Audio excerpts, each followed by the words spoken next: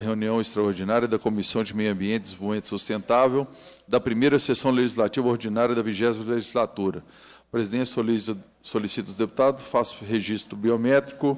A presidência, nos termos do parágrafo 1 do artigo 132 do Regimento Interno, dispensa a leitura da ata da reunião anterior, considera aprovada, solicita sua subscrição. Esta reunião se destina a ouvir a apresentação do panorama da gestão dos recursos hídricos no Estado, no ano de 2023 pelo Instituto Mineiro de Gestão das Águas, IGAM, e receber, discutir e votar proposições da comissão. A presidência vai suspender em breve minutos aqui para que a gente possa aguardar se há mais algum convidado para chegar, e mas acredito que em três, quatro minutos a gente esteja de volta. Então estão suspensos os trabalhos.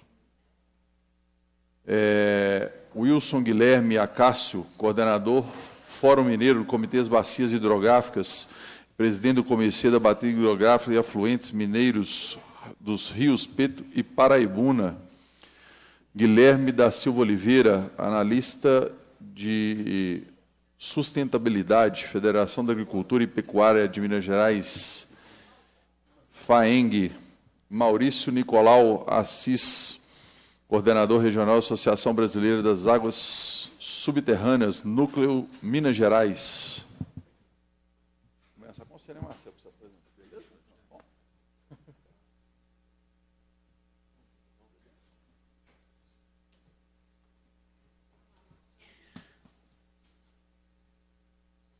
Isso aqui é antes, ou Rose? Não, do, é do. A presidência avoca a relatoria do projeto de lei 1511-2023 em turno único. Ótimo.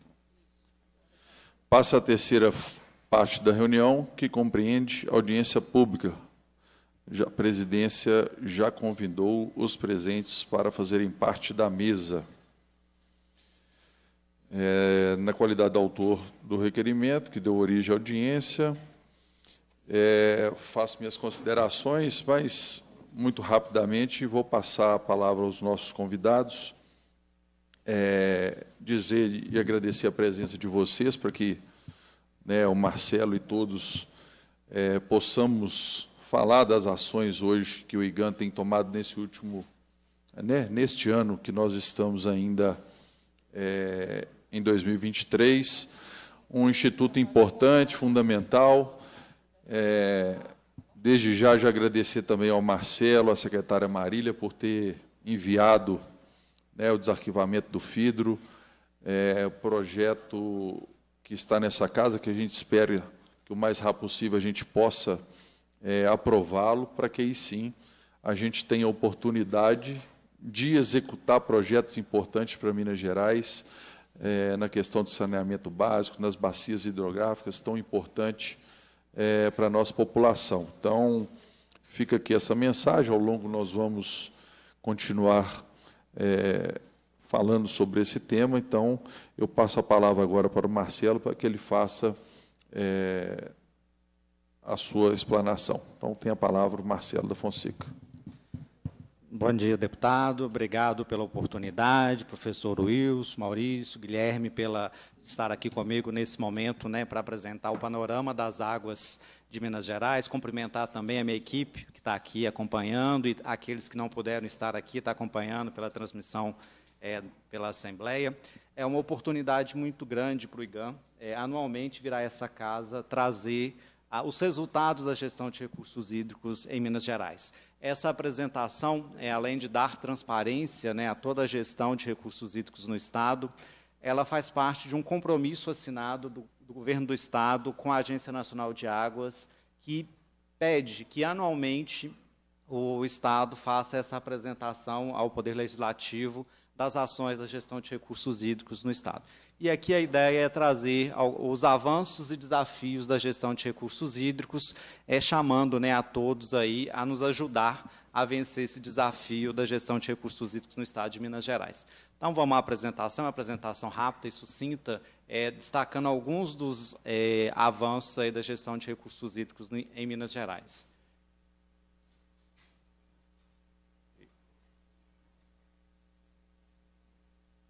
A primeira delas, né, a gestão de recursos hídricos, ela tem o, o caráter né, da gestão descentralizada e participativa.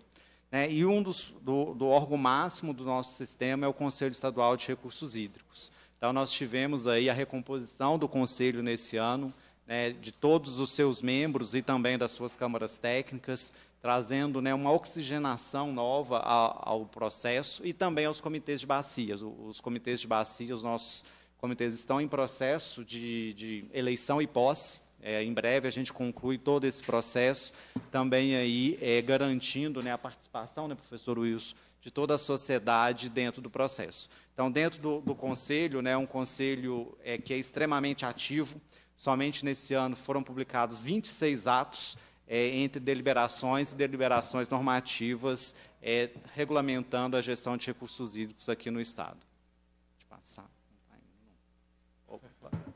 Vamos lá. Foi.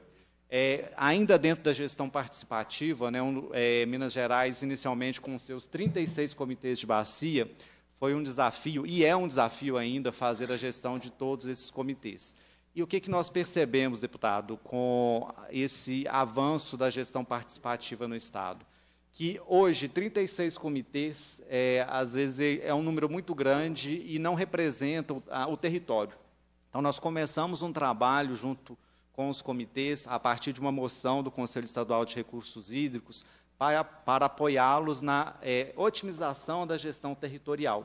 A partir disso, nós já tivemos, né, foi o primeiro estado da federação a unificar comitês. A maturidade do nosso sistema já está tão grande que já nos permite é, unificar comitês. Então, nós unificamos né, é, o comitê GD1 e GD2 e estamos em processo né, do SF7 e SF8, né, um processo amplo, participativo, onde os comitês aprovaram essa unificação e depois o Conselho ratificou isso.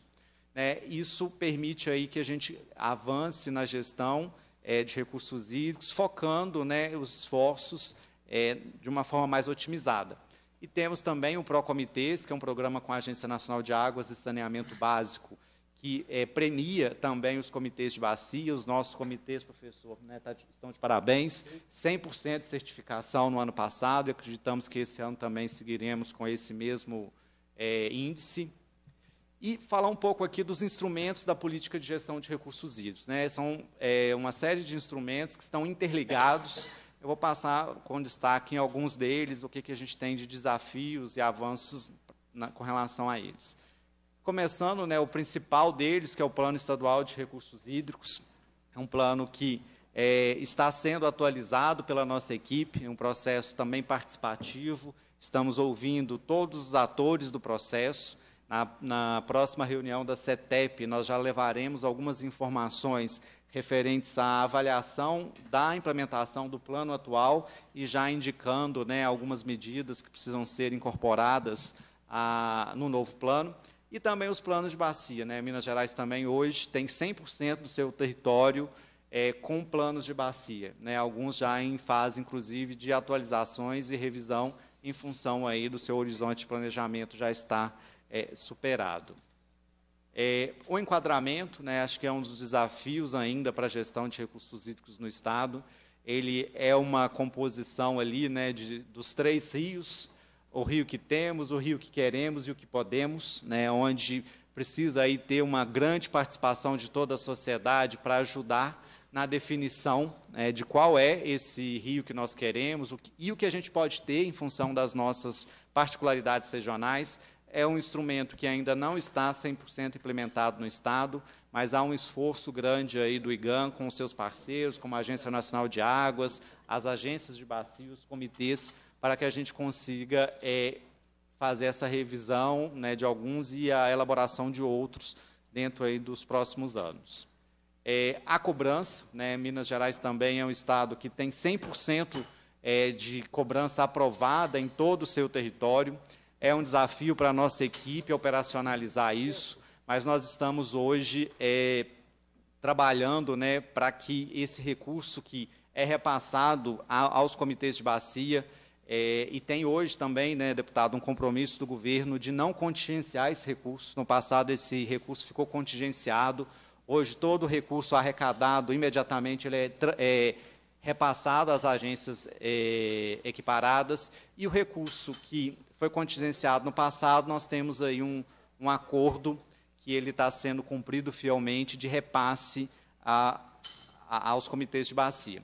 Ainda é um desafio para a cobrança transformar o valor arrecadado em, em valor investido. É um trabalho que, a, que, os comitês, o IGAN e as agências estão trabalhando né, para dar uma maior efetividade na, nesses recursos, né, Guilherme, de forma que o recurso arrecadado seja investido na bacia e melhore a realidade das nossas bacias hidrográficas.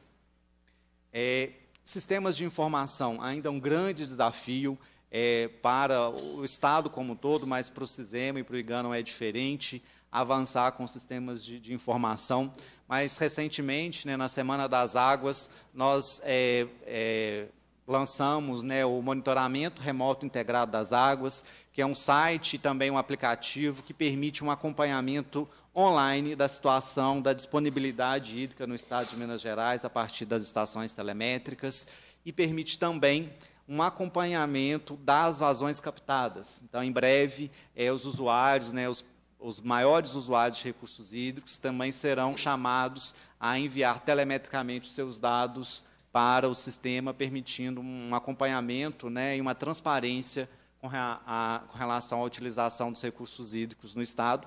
E a ideia é Cisema, né, que é uma grande plataforma do Estado, né, do, do governo de Minas, para transparência das informações. Muitos dos nossos dados estão lá. Aí é um exemplo da camada de outorga e de usos insignificantes que estão deferidos aí no Estado. É, penalidades, né, é, é, Minas Gerais, né, na nossa política, é um, é um dos poucos estados que coloca a penalidade né, ou a fiscalização como um instrumento da política de recursos hídricos diante da organização administrativa do SISEMA. Hoje, as ações de fiscalização elas estão concentradas na Subsecretaria de Fiscalização da SEMAD, com apoio da Polícia Militar de Meio Ambiente. O IGAM ele faz apenas a fiscalização das barragens dentro da Política Nacional de Segurança de Barragens. É, outorgas, né, acho que é um dos instrumentos mais conhecidos da política, foi um desafio grande para o IGAM. Né, o IGAM ele retomou a gestão das outorgas em 2018, onde havia ali um passivo de 25 mil processos acumulados e, em função aí de um grande esforço de toda a equipe, nós conseguimos concluir esse passivo. Né? A gente observa exatamente isso, né? os últimos anos ali, depois de 2019, o grande número de outorgas, tanto superficial quanto superficie, é, subterrânea, que foram concedidas. Tudo isso estava represado é, isso hoje, é, a gente tem aí aproximadamente 3 mil processos em tramitação dentro do IGAM, que para a gente é, o, é, o, é, a rotina. É, mensalmente chegam 1.200 processos. É, mensalmente chega 1.200. Então, ter 3 mil processos ali é tranquilo para a equipe, né, Jane? É, e trazendo aqui né, um pouco do, do panorama né, da, da, do uso da água no Estado, a gente vê aí que grande parte é, da água hoje no Estado é destinada ao setor agropecuário, né, é, Guilherme? Importante setor aí da, da economia mineira. É, e a gente, quando a gente olha no território, a gente vê regiões como Alto Paranaíba, Noroeste é, e, e, o Triângulo, né, as regiões onde tem uma maior demanda é, de água né, para o setor de, agropecuário, e quando a gente vem aqui na região metropolitana, leste, aí já começa a aparecer outros usos, como os usos industriais e abastecimento público como principais usos. É, em termos de vazão, é, nós temos aí grande parte né, da, da água é, utilizada a partir de água superficial ainda, né, grande parte, mas nós estamos percebendo que há um aumento da utilização da água subterrânea. Né? Acho que em função aí do que a gente percebe aí da redução da vazão dos nossos corpos hídricos é, e também é, algumas regiões, como a região do Noroeste, Triângulo, que a gente já tem as áreas de indisponibilidade hídrica, as pessoas começam a migrar para a água subterrânea, é, e que também é um desafio. Né? A gente está vendo algumas regiões, como a região do norte de Minas, onde o volume de água subterrânea também já está aí com algum grau de comprometimento. Aí, né, de forma mais é, ilustrativa, né, onde estão os nossos maiores usuários de recursos hídricos, tanto subterrânea quanto superficiais. O primeiro aí é subterrâneo. A gente vê ali uma concentração aqui na região metropolitana é, e o grande parte ali no, no Alto Paranaíba, né, com um volume grande de água subterrânea utilizada ali. E água superficial da mesma forma. Né? A gente vê ali a região onde nós temos ali os nossos polos de irrigação com um grande volume de água sendo consumido naquelas regiões. É, isso, obviamente, né, quando faz uma leitura dessa, dessa imagem anterior com essa, a gente vê exatamente onde nós temos os maiores problemas. Né? As áreas de conflito, né, um conceito de indisponibilidade hídrica, que é uma, uma demanda de água superior à capacidade de fornecimento pelos nossos mananciais. Então, o primeiro gráfico ali, o primeiro mapa, indica as áreas é, de conflito superficiais, então, ali, né, voltando, né, uma concentração no Noroeste, no Alto Paranaíba e alguns outros casos mais pontuais espalhados para o resto do Estado. Nós avançamos na gestão dessas áreas é, por meio da, é, de uma gestão participativa dos usuários. Foram criadas as comissões gestoras locais, que é uma comissão de usuário que, de forma conjunta, define qual é a melhor utilização da água disponível obviamente a partir de critérios técnicos estabelecidos pelo IGAM, uma participação ativa dos comitês de bacias quando necessário. Isso permitiu um grande avanço na regularização dessas áreas. Hoje nós temos é, poucos processos ainda pendentes de, de, de análise e a maioria deles são retificações para aprimoramento da gestão nesse território. E né, o segundo mapa ali é uma, as áreas de restrição e controle de água subterrânea, que tem um conceito muito parecido com os de conflito superficial, onde eu tenho uma demanda de água também superior. Nós temos duas regiões, por enquanto, com essa situação, que é uma na Chapada do Batalha, e a outra mais recente, né, que foi inclusive aí, é, pauta de grandes discussões nos últimos meses, que é a região do, do Verde Grande, no norte de Minas, que, a partir de um estudo elaborado pela CPRM, né, o, o Programa Águas do Norte de Minas, e uma deliberação normativa do Conselho Estadual estabeleceu algumas regras e a gente identificou que aquela região ali tem uma região crítica e a gente precisa ter uma gestão específica, tanto é que foram é, publicadas né, a, a, restrição e controle dessas áreas no norte de Minas. Barragens de água, né, a Política Nacional de Segurança de Barragens, ela define alguns atores dentro da, da da, da operacionalização dessa política. Então, cabe ao IGAM, como órgão é, outorgante, a gestão das, das barragens de água, com, exceto aquelas destinadas às atividades de mineração e de é, geração de energia. É um desafio grande. Né? Minas Gerais, em função do seu território, né, tem um grande número de barragens. O primeiro mapa ele indica ali a, a, localização das grandes barragens, são aquelas barragens sujeitas à outorga. E o segundo, que está com aquele mapa de calor, é, eu, a gente optou por fazer uma representação diferente, porque é tanta, são 30 mil barragens de uso insignificante, que são as pequenas estruturas que, mesmo sendo pequena, não necessariamente não traz riscos. Então, é um, é um desafio do IGAM, né, de toda a sociedade mineira, da, principalmente do setor rural, né, Guilherme, trazer esses usuários para adotar as práticas aí exigidas da política de segurança de barragens. Hoje, né, que são as maiores estruturas que estão aí dentro de um cronograma que foi estabelecido de cadastro, de acompanhamento, nós temos 734 é, que estão dentro do Sistema Nacional de Informação. Só 734. É um cronograma que nós é, estabelecemos, não dá para a gente receber tudo de uma vez, então ele está escalonado a partir do tamanho dessas estruturas. É, em termos de qualidade né, de água superficial, o IGAN ele é conhecido nacionalmente aí pela qualidade do nosso programa de monitoramento. É, começou lá em 97, é, na época lá com 117 pontos. Hoje nós estamos aí com 685 pontos é uma grande rede de monitoramento em todo o estado, uma parceria grande com a Agência Nacional de Águas também, é, através do programa Quali Águas, que, que aporta recursos né, de apoio a, a implementação dessa rede. É, alguns resultados aí de, desses estudos, a gente observa como que a, a qualidade da água no estado vem avançando aí nos últimos anos. A gente observa que é, ainda é um desafio grande é, melhorar a qualidade dessas águas. É, os principais fatores de pressão que levam a essa situação é a questão do saneamento básico. Então, é um desafio aí avançar com o saneamento básico, melhorar a qualidade das nossas águas, né, professor? Para que a gente tenha aí é, uma, uma água em qualidade também, além de, de quantidade. Ali, né, na tabelinha, alguns dos nossos principais é, corpos hídricos que têm ali uma contaminação alta, né, só para a gente ter uma, uma referência de, de onde eles estão. Todo o material está né, tá sendo apresentado aqui de forma bem, bem rápida. Todo esse material está disponível no site do, do IGAM, os relatórios, né, principalmente de qualidade de água, tem lá as informações detalhadas. Marcelo, rapidamente. Sim. Esse, aquele último quadro ali, ele representa o quê?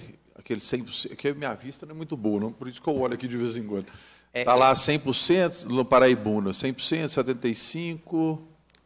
Aquilo Isso. é a qualidade Isso, é, água? O, que que... é o percentual de amostras que, for, que apresentaram ocorrências é, acima do, do, limite. Então, todas as amostras que nós coletamos, todas elas tinham, estavam acima do limite. E assim para 75 e, e os outros também. A gente observa que tem uma, uma relativa melhora, né? lá em 2019, aqueles corpos hídricos listados ali, por exemplo, velhas, né? o segundo ali, o BV 142, era, foi 100%, é, 100% em 2019, 75% é, em 2020, 2021 voltou para 100% e agora em 2022 foi 50%.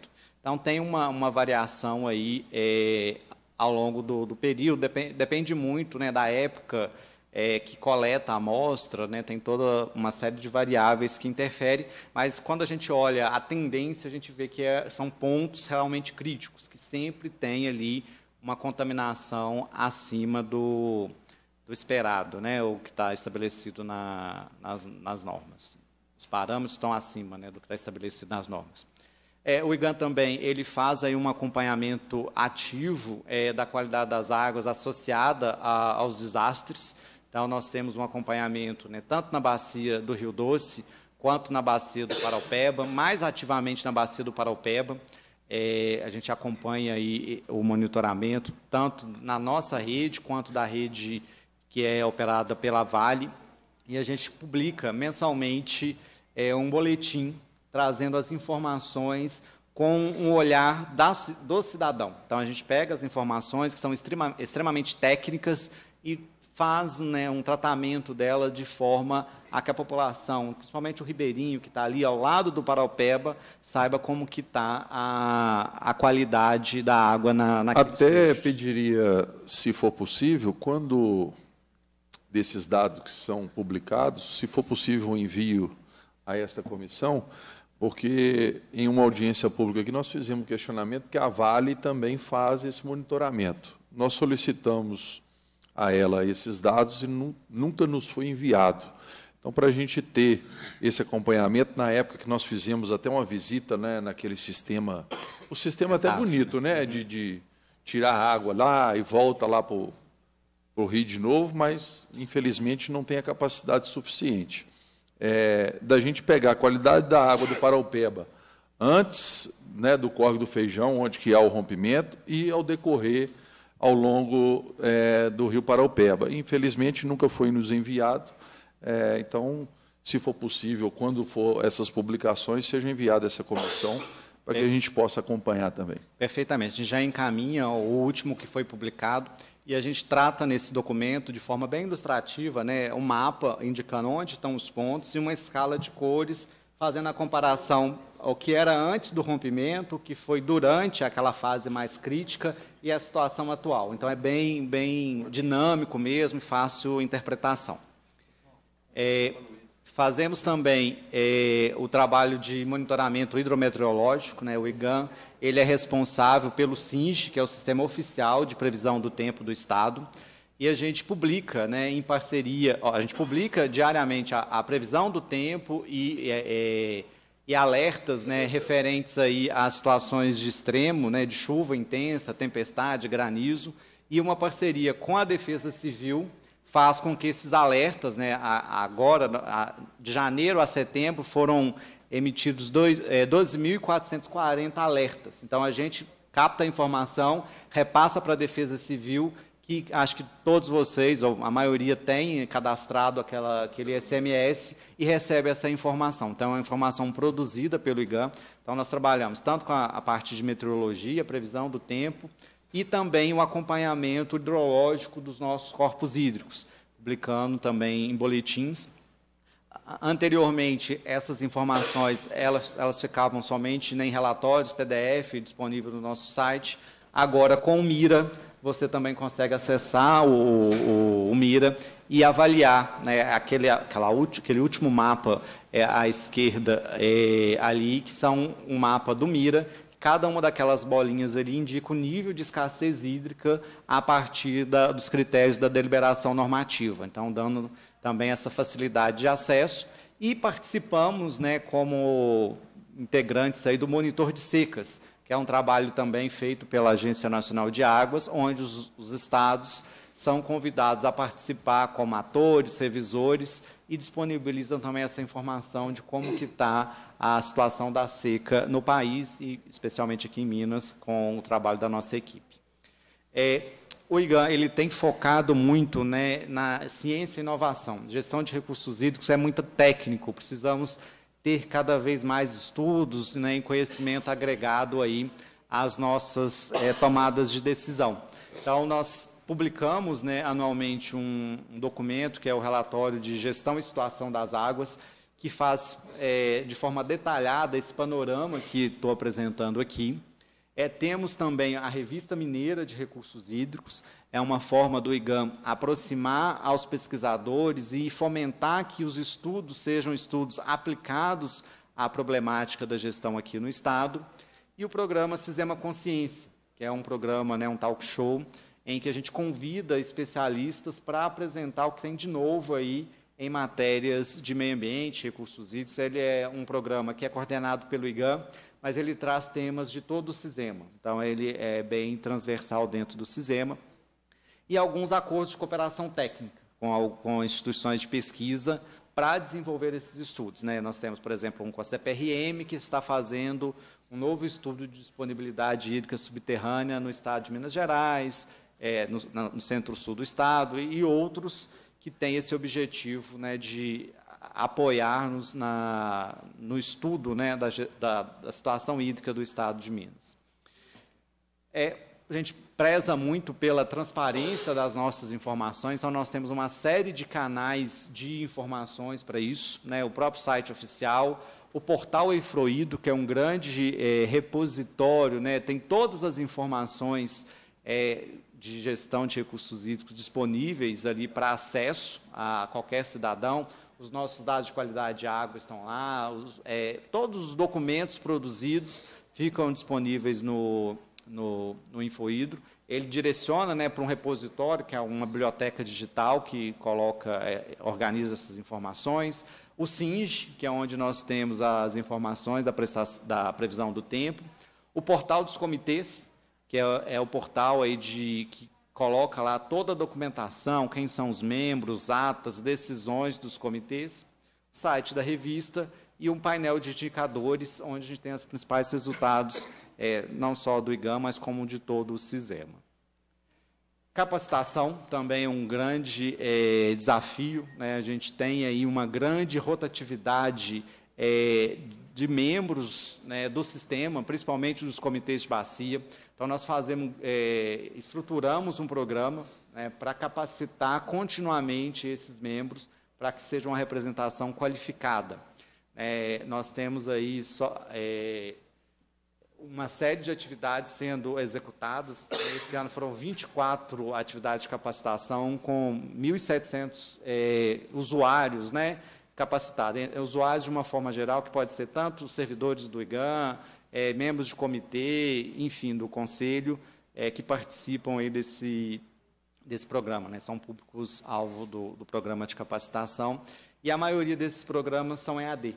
Então, eles estão disponíveis na, disponíveis na Trilhas do Saber, que a gente faz campanhas de divulgação, mas ele, a grande maioria é aberto, é fluxo contínuo, que pode ser acessado a qualquer momento.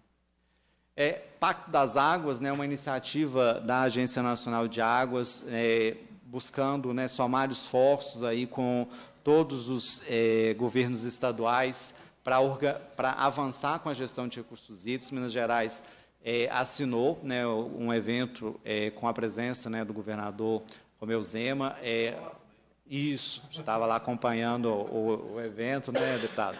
É, onde a gente teve a oportunidade né, de assinar o pacto e já também iniciar alguma, um outro programa, que é o Quali Águas, que é um programa importante para Minas Gerais, é, o Pacto das Águas traz aí ações em três grandes eixos, né, gestão das águas, saneamento e gestão das barragens. Então, é uma forma aí de organizar é, as ações que são executadas de forma conjunta pela ANA, pelo IGAM, pela ARSAI, pela própria SEMAD, nesses eixos aí que são os eixos do, do pacto.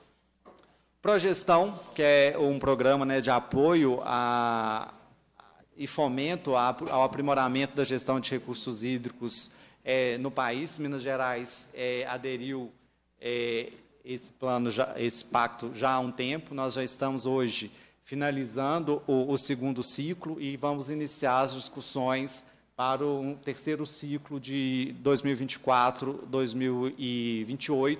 Minas Gerais tem sido aí, né, a, as, e é uma certificação, é atribuída uma nota em função das metas que são pactuadas. Então, tem metas estaduais, federativas, para que a gente aprimore cada vez mais a gestão. A gente tem é, sido bem avaliado aí nessa, nessas fases e a gente recebe, em compensação, um, um repasse financeiro que nos ajuda a aprimorar e investir no próprio sistema. É, o, o IGAM, né, ele elaborou, né, no final do ano passado, um planejamento estratégico, é, colocando aí, né, qual é, a, revisitando qual é a nossa missão, visão e valores, né, a, hoje, né, dentro dessa nova perspectiva, né, a nossa missão institucional é promover a implementação da política de, de, de recursos hídricos, com foco, né, com fomento à segurança hídrica, que é um grande é, anseio da sociedade mineira, e estamos trabalhando aí né, num planejamento tático e operacional para avançar com a implementação dessas, é, para o alcance desses objetivos que foram estabelecidos dentro desse planejamento esse planejamento foi feito ano passado, né, quando o IGAM é, estava comemorando 25 anos e foi intitulado IGAM do Futuro, né, o olhar dos servidores do IGAM, e foi um processo participativo é, para a construção desse IGAM é, 25 mais. O programa Somos Todos Água, né, que é um grande programa também do governo do estado de revitalização é, e segurança hídrica atuando em três grandes eixos, né, que é conservação e restauração da biodiversidade dos serviços ecossistêmicos, produção sustentável e uso racional de recursos hídricos e saneamento, é, controle de poluição e obras hídricas. Então, todas as ações desse programa vão permear por esses três eixos e o, o primeiro produto dentro desse plano é o Plano Mineiro de Segurança Hídrica, que está em elaboração. É, havia a previsão dele ser concluído ne, nesse ano, mas em função da complexidade dos estudos, né, é, a gente vai ter um atraso desse programa, ficando para meados do ano que vem, onde a gente vai ter, além de todo um diagnóstico da situação hídrica do Estado, a identificação de áreas prioritárias para intervenção com vistas a alcançar a segurança hídrica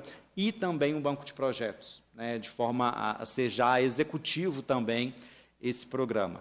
É, é um plano que vem sendo feito de uma forma muito é, participativa, várias oficinas virtuais e presenciais, onde a população mineira é ouvida, né, de forma a incorporar dentro dos critérios que nós estamos utilizando, né, tanto do diagnóstico quanto de priorização de áreas, a visão local, tanto do comitê como da sociedade como um todo.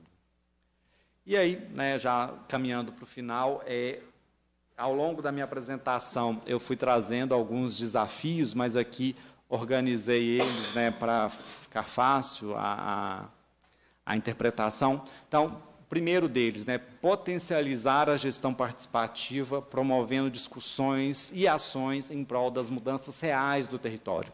Professor Wilson, né, a gente tem conversado muito, acho que os comitês hoje já têm é, uma maturidade grande, que agora precisa focar em ações de mudança de realidade. Né? Agora, com a cobrança implementada em todas as bacias, é o momento da gente focar nessas ações de mudança de, de, da realidade local.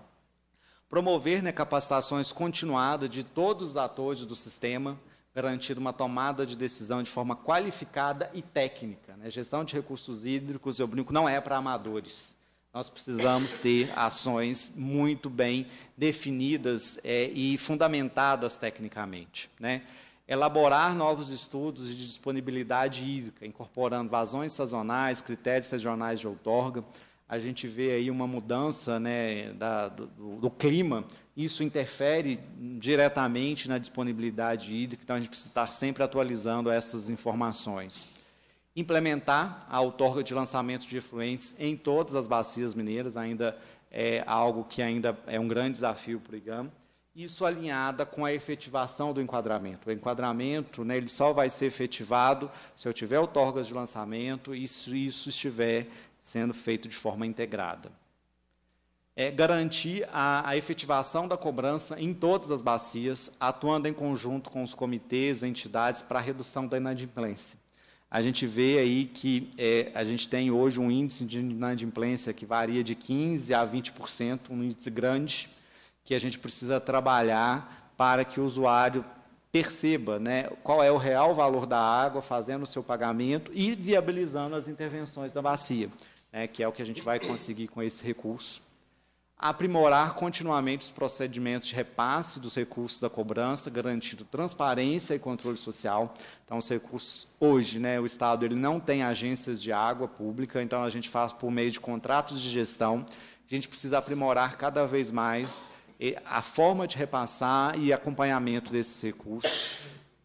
Garantir que os recursos da cobrança sejam aplicados de forma assertiva, promovendo a melhoria da bacia é, eu falo que tem que gastar, mas gastar bem gasto, né, professor? Saber exatamente onde eu vou gastar o recurso para que as melhorias ocorram na bacia. Só te interrompendo, mas claro. aqueles recursos que você apresentou antes, que são repassados e não são utilizados, por que, que não é utilizado? É a dificuldade de, de execução de projetos? Isso. É, é, os recursos eles são repassados, assim que eles são arrecadados, eles são repassados para as entidades equiparadas e foi necessário um período aí de, amadurecimento dessas entidades. É, nós temos hoje no Estado é, a, Agência Peixe Vivo, que é aqui da, do Velhas e do, e do, do Pará, a, a GEVAP, que é lá do Paraíba do Sul, a AG Doce, do Grande, e a ABA, que é do Araguari. Ao longo desse período, é, elas, algumas é, conseguiram avançar um pouco mais e outras menos. Hoje a gente tem é, avanço em todas elas, é, com aumento significativo da implementação, da utilização desse recurso. Então, foi necessário esse tempo de aprimoramento dos procedimentos, a própria burocracia associada, que na prestação de contas era o entrave do processo. Então, nós estamos trabalhando internamente junto com, com, a, com a, as próprias entidades para aprimorar e garantir que esse recurso seja aplicado. É um recurso que fica lá mas ele já poderia estar trazendo resultados efetivos para a bacia. Tá? É, modernizar é, a prestação de serviços por meio da incorporação de novos sistemas de informação e de suporte.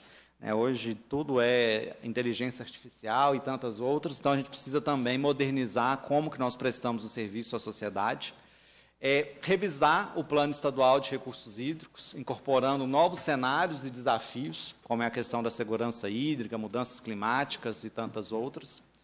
Garantir a contínua, a, a contínua atualização dos planos de bacia e sua, e sua implementação, bem como no enquadramento. Eu preciso não, ter, não só ter planos, eles têm que ser atuais e estar sendo implementados, bem como o, o enquadramento.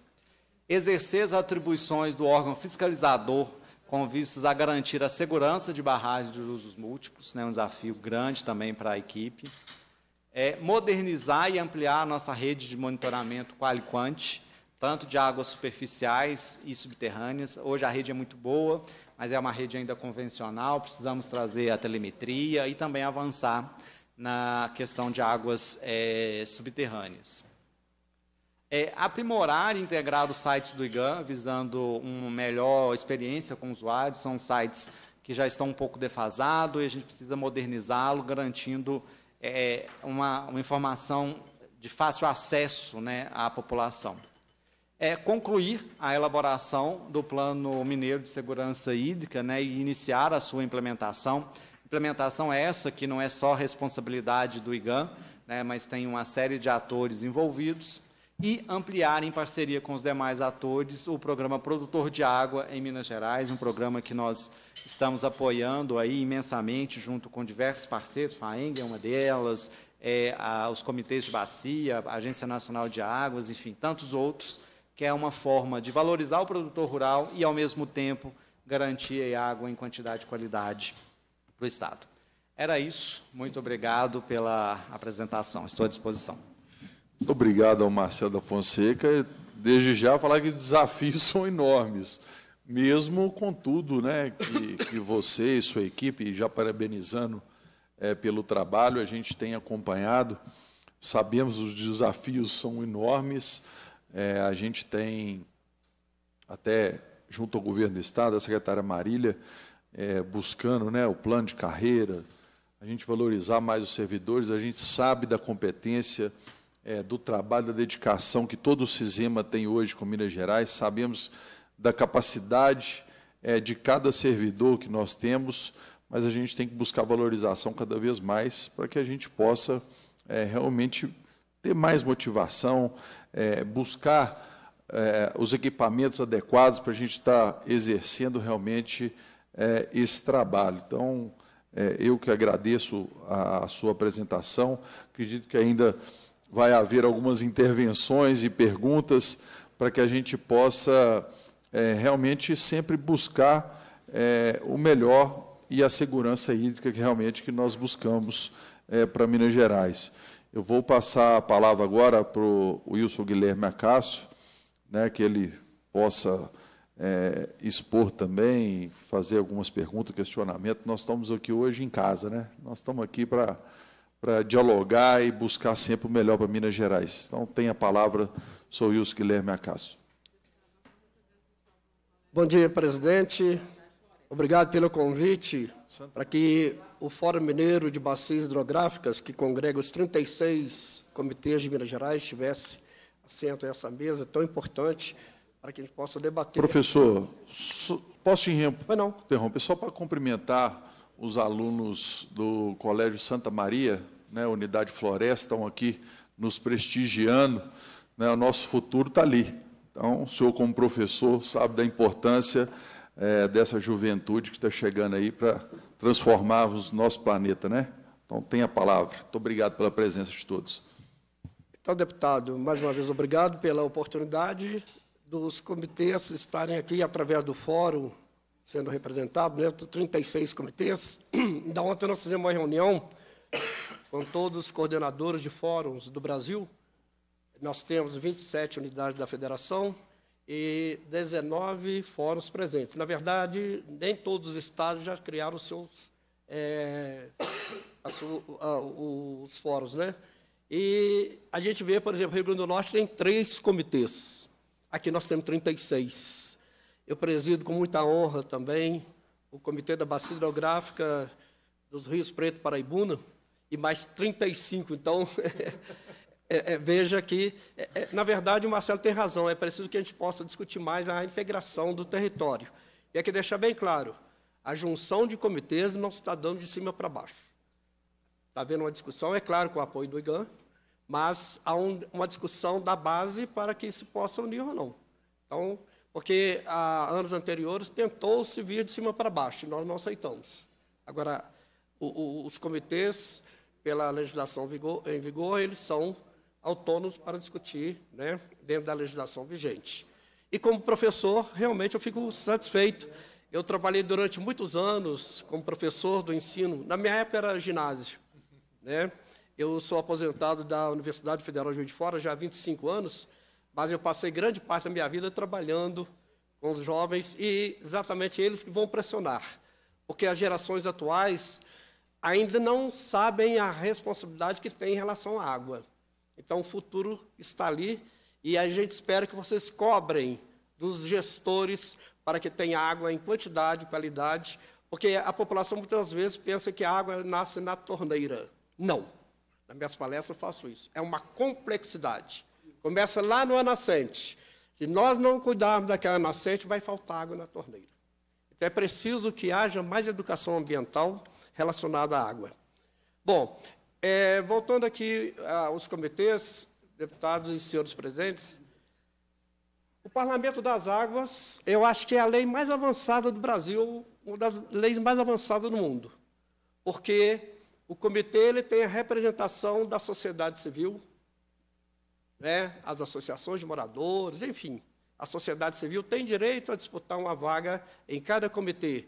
A representação dos municípios é importante que as prefeituras estejam também imbuídas, porque o prefeito tem a corresponsabilidade. O comitê não trabalha isoladamente com o município, a gente trabalha num coletivo chamado Bacia Hidrográfica. Né? Os alunos sabem, né? tem o rio principal e vários afluentes. Então, ali, nós, é o nosso território de discussão e é preciso que haja o envolvimento dos prefeitos. A representação do Estado, né, a Secretaria de Educação, os órgãos, né, o IGAN, etc., estão lá sentados, e o usuário. Porque, na verdade, os comitês que têm cobrança, é, em Minas Gerais, de 36, são, parece, 14, 13 ou 14, que têm a cobrança. A grande maioria agora já foi implementado muito atrasado, porque nós vimos a apresentação do Marcelo, muito boa, a gente quer aqui já agradecer a relação que a gente está tendo com o IGAN, com o Marcelo, aos trabalhadores lá do IGAN, mas aqui, Marcelo, faltou uma, uma, uma, questão, e o deputado levantou muito bem: a valorização dos funcionários. Você pode colocar as melhores tecnologias ali, mas se não tiver a valorização dos funcionários, nada vai dar certo. E aqui eu quero fazer um elogio. Eu sempre faço nas nossas reuniões, são verdadeiros abnegados. Eles entraram em greve o sistema por conta da necessidade, por exemplo. Eu já conversei várias vezes com o Marcelo, o número de funcionários para atender 36 comitês. É claro que eles não atendem só comitê, mas o trabalho é muito grande e nós precisamos valorizar e ter mais funcionários trabalhando para que haja a gestão das águas. É preciso, então, o número. É, por exemplo, eu vou citar o nome, ele deve estar até nos assistindo, que eu quero aqui aproveitar e cumprimentar aqueles que estão lá no norte de Minas nos assistindo nesse momento. Né? Os comitês estão aí é, prestigiando a gente aqui. O Eduardo, que é lá do nosso comitê, ele representa seis comitês, ou oito, parece. Como é que pode um funcionário sozinho dando conta de seis ou oito? Então, ele, ele passa mais viajando. Né? Então, estou dando um exemplo que é preciso aumentar esse quadro. Então, o parlamento, voltando aqui à lei é, 9.433, que é a chamada Lei das Águas, ela foi publicada em 97, deputado e senhores. E só agora que a gente está vendo a aplicação da lei. Nós estamos atrasados 26 anos. A lei ela foi publicada em dezembro de 1997. E muitas das coisas que foi mostrado aqui, e não é culpa do Marcelo, é um processo histórico da falta de interesse dos gestores na questão das águas. Então, tudo que está sendo falado aqui, repito, é importante, mas está muito atrasado. Era preciso que fizesse antes para que hoje a gente não tivesse os rios como estão, as nossas nascentes como estão, como estão também as matas ciliares. Então, há um atraso histórico. Obviamente, está se recuperando o tempo perdido. E é preciso, deputado presidente, que essa Casa Legislativa cobre mais do Executivo. Nós vimos aí, tem vários planos, e eu vou citar aqui, Marcelo já o citou, mas é preciso que haja mais recursos financeiros para a implementação desses planos. Então, é, eu quero deixar bem claro que muitas das coisas que estão sendo discutidas agora, e, e olha que Minas Gerais ainda é talvez um dos estados mais adiantados na política das águas. A gente é modelo. Se aqui é modelo, você imagina o resto. Nós tivemos agora em Natal, o Marcelo estava lá né, também, anual, de, anualmente a gente faz um, um encontro das águas, no encontro foi em Natal, e a gente vê a realidade. Ontem nós tivemos a nossa assembleia, né, do Fórum Mineiro, eu vou citar o nome aqui, o nosso amigo Antônio Vieira, o Tonhão, ele mostrou o que está acontecendo no Rio Paracatu hoje. É uma coisa triste. O Paracatu está secando, literalmente, deputado. É preciso que a sociedade saiba disso. Eu estou pegando um exemplo: o Rio Urucuí está seco. Então, essas políticas, repito, estão atrasadas para beneficiar as nossas águas, em quantidade e qualidade. Fora de mim aqui dizer que a responsabilidade é da gestão, não é isso. É um processo histórico. Pelo contrário, eu já vou citar aqui um exemplo da agenda propositiva. Você devia ter falado, viu, Marcelo? Ele esqueceu. É, porque a gente vê muito, muita discussão, nós fazemos muita reunião, muitas delas sem objetividade nenhuma. E aí, modéstia à parte, eu elaborei um, um dia, falei, gente, eu vou escrever alguma coisa, porque como professor a gente gosta de escrever, né? É, e terminou em 17 páginas. E nós levamos para a diretoria, levamos para a nossa coordenação colegiada, que tem um representante das macrobacias, a unidade de planejamento, por exemplo, São Francisco tem um representante, Paraíba do Sul tem um, que sou eu, né? Jequitinhonha, e assim vai. E foi aprovado, e nós mandamos lá para o IGAN. Porque existe o chamado CISEMA, mas o que se nota na prática são políticas isoladas. Agora que eu estou vendo que está sendo reunido. O comitê de bacia faz parte do CISEMA. Nós nunca fomos chamados para uma reunião coletiva. Então é preciso que a gente saiba, porque água não é só responsabilidade do IGAN. O IF tem uma responsabilidade muito grande, tem os objetivos específicos, mas precisa de cuidar também das águas. Então, a Polícia Militar Ambiental, o que está acontecendo com as águas subterrâneas nesse estado? Nós tivemos agora, em junho, um encontro lá em Caxambu. O Marcelo não podia, que tinha outra agenda, mas ele participou de. Ele e a Maria de forma indireta. A, a questão das águas subterrâneas é uma coisa assustadora. As autógrafos ali estão. Será que os outorgados estão cumprindo a lei? Porque é autodeclaração. Eu vi um matadouro fazendo autodeclaração, e eu brinco, o preço de um chifre do boi, que ele mata 400 por dia, paga a, a, a trimestralidade que ele paga né, para o uso da água. Eu vou repetir, 183 reais por trimestre. E é autodeclaração. Então é preciso que haja mais fiscalização. Não só a Polícia Militar Ambiental. Né? Os poços artesianos estão aí surgindo de maneira assustadora. E aqui eu presto homenagem à minha companheira Clegg, que está nos assistindo lá em Araçuaí. Ela foi agredida porque tinha um cidadão furando poço na calçada da cidade. E ela foi lá criar a casa e, levou, e foi agredida. Fica aqui a simbologia. Né? É preciso que eu estou vendo ali o, o, o Tiago, né? o Tiago nos ajudou nessa discussão muito nas nossas reuniões. Então é preciso que a gente veja de maneira holística as águas, não só com o IGAN, mas todo o sistema tem a sua corresponsabilidade. Então, eu fico aqui tranquilo de trabalhar com a, a instituição, nós estamos aproximando, e essa agenda propositiva, eu tenho certeza que ela vai nos ajudar a, a, gente pode, porque o fórum não pode ficar lei, o comitê não pode ficar lei o que está acontecendo. E essa agenda propositiva, eu conversei com o Marcelo, acho que foi quinta-feira, e foi aprovada agora ontem na nossa reunião, antes de ontem, desculpe. A gente vai criar um grupo de trabalho dentro do fórum para trabalhar com o CISEMA. E o Marcelo aceitou a ideia, né? a gente vai fazer um, um GT para discutir esse documento. Porque nós tivemos resposta, muito boa resposta, mas algumas coisas não foram respondidas, na nossa visão. Mas a gente está num processo democrático. Não adianta só ficando discutindo, criticando, etc., se a gente não contribuir. E se aqueles documentos, e nós, viu, deputado, nós fizemos tudo baseando na lei. Tudo baseando na lei. Tudo baseado na lei. Então, é preciso que a gente possa construir um processo democrático, republicano, transparente, para que nós tenhamos melhor, melhor qualidade de água e quantidade. Bom, eu estava praticamente de cama até a semana retrasada, mas eu pedi a médica se eu podia estar aqui hoje por um motivo principal: Fidro. Eu vi o deputado lá no dia do lançamento do Pacto pelas Águas. Eu estava lá e Vossa Excelência cobrou do governador.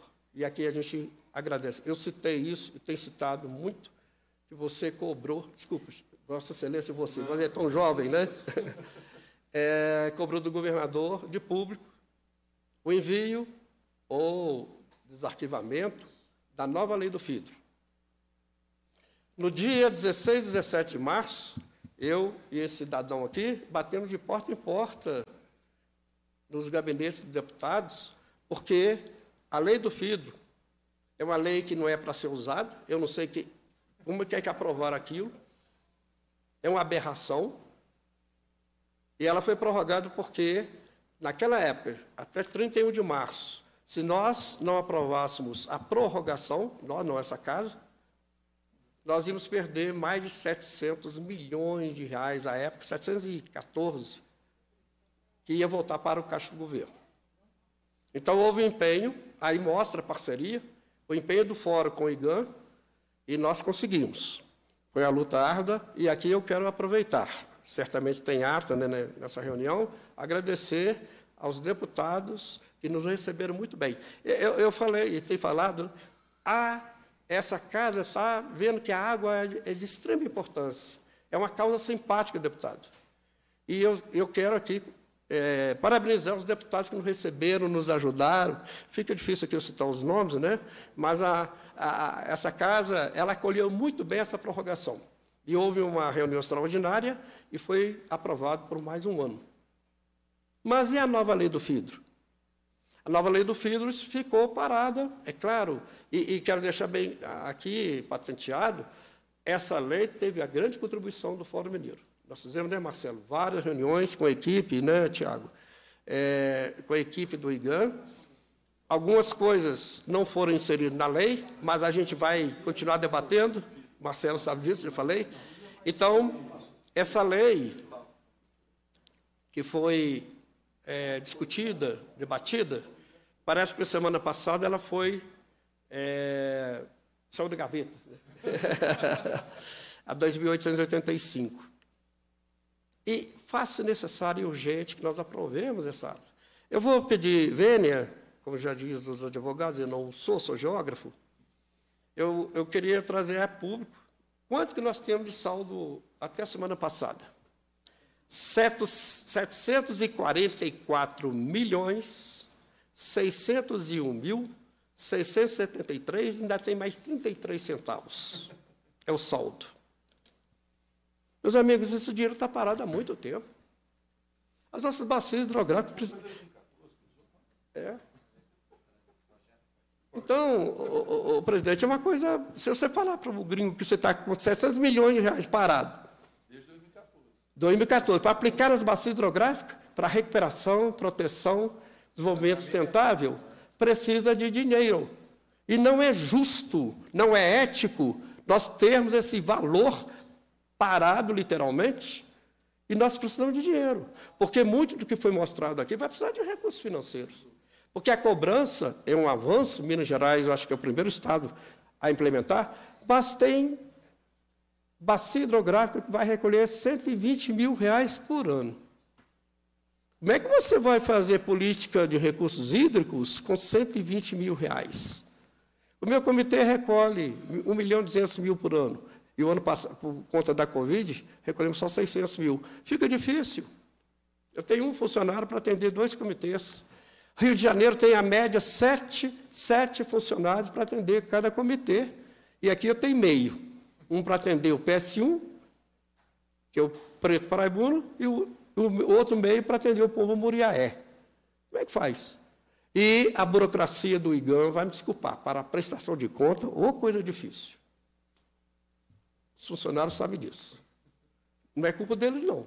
Para atender a legislação do IGAM, para prestação de conta, meu Deus do céu, e glosa daqui, glosa dali. Eu, eu sou obrigado a viajar um ônibus de terceira categoria, porque eu não posso viajar no ônibus executivo. Eu sou autônomo, eu não ganho nada para isso. É, é, eu, vi, eu, fiz uma viagem, eu sou representante, eu estou contando esses casos, eu tive, eu tive que ir a, a, lá em, no, no, oh meu Deus, lá em Lima Duarte, no Parque Gaminese, e Pitipoca. Eu sou representante lá. E eu gastei gasolina a mais. Estava chovendo um carro mil, eu tenho que viajar no carro mil. Uma chuvarada subindo ali, eu estava com mais dois companheiros, né? Nossa Senhora, os cuidados, tá subindo. Quando eu voltei, chovendo mesmo. Aí veio, eu, tinha, eu gastei gasolina a mais e eu tinha que pagar no meu bolso. Ah, mas eu fiz um relatório bonito. Fiz. Como geógrafo, tirei a altura, ah, peguei os dados meteorológicos da universidade, pus tudo no relatório. Para mostrar. Eu falei, eu não vou pagar. Pode mandar prender que eu não vou pagar.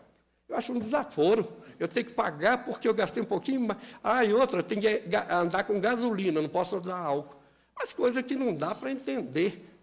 Ah, eu não posso viajar depois da 18. O motorista pode viajar depois das 18. Tudo bem. Aí tem que gastar mais uma diária. Eu sou obrigado a ficar por causa do motorista, às vezes. Então, essas coisas têm que ser mais sensíveis. Eu quero deixar bem claro que você lê. E se o, o Igano não, né, Igano, o, o, o Marcelo? Né? Bom, então, deputado, eu, eu gostaria de fazer uma reflexão para não só Vossa Excelência, mas todos os deputados dessa casa e o público que está nos assistindo. Como é que estão as nascentes nas nossas bacias hidrográficas atualmente? Vamos fazer um, uma simulação aí, né? Como é que as nascentes? Como estão as matas galerias, né? chamadas ciliares? Como é que está a preservação da Mata Atlântica? Que nesse estado foi pioneiro no ranking dos 17 estados, foi o estado que mais derrubou a Mata Atlântica. Quase 5 mil hectares. O Cerrado está sendo, é o estado que mais está derrubando o Cerrado no Brasil. Ele não tem maior área de Cerrado, mas os índices são assustadores. E como é que está a qualidade das águas dos rios que passam nas nossas cidades?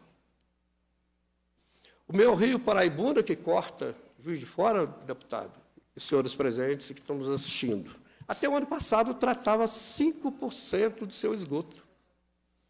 Como é que pode um município julgar 95% do esgoto na água? Eu vou repetir. Nós temos lá mais de 650 mil habitantes. 95% do esgoto era julgado no Rio Paraibuna. Isso, isso é um crime. É um crime. É crime ambiental. Quem permite julgar esgoto dessa, dessa quantidade? Aí precisa sim de outorga né, de lançamento dos efluentes nos nossos rios. É, é, essa outorga tem que ser discutida e implementada já.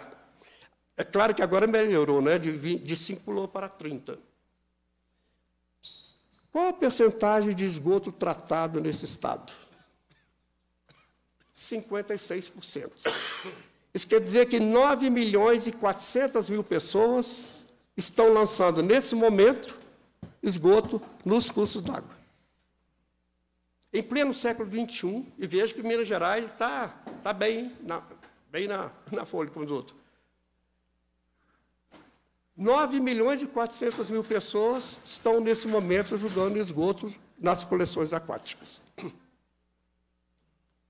Será que o rio não tem direito à vida?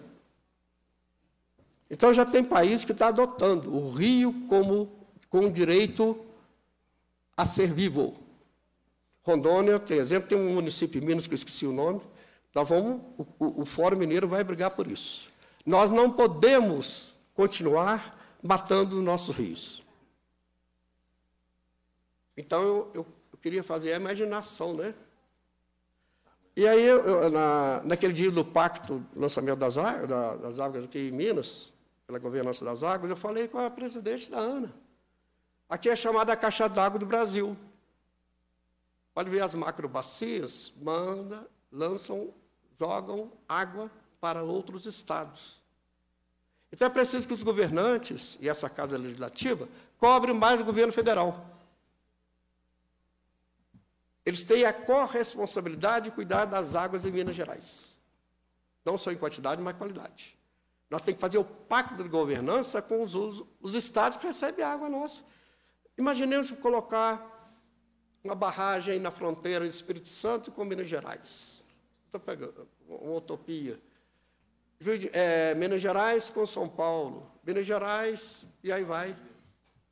Então é preciso que a nação brasileira sabe que a caixa d'água está secando. E se secar a água aqui, vai faltar lá. É preciso que os empresários saibam que o lucro deles está embutido da água. É claro que muitos pagam. Mas muitos querem sonegar o pagamento pelo uso da água. Vou tirar a água do produto dele. Qual o produto que é produzido sem água?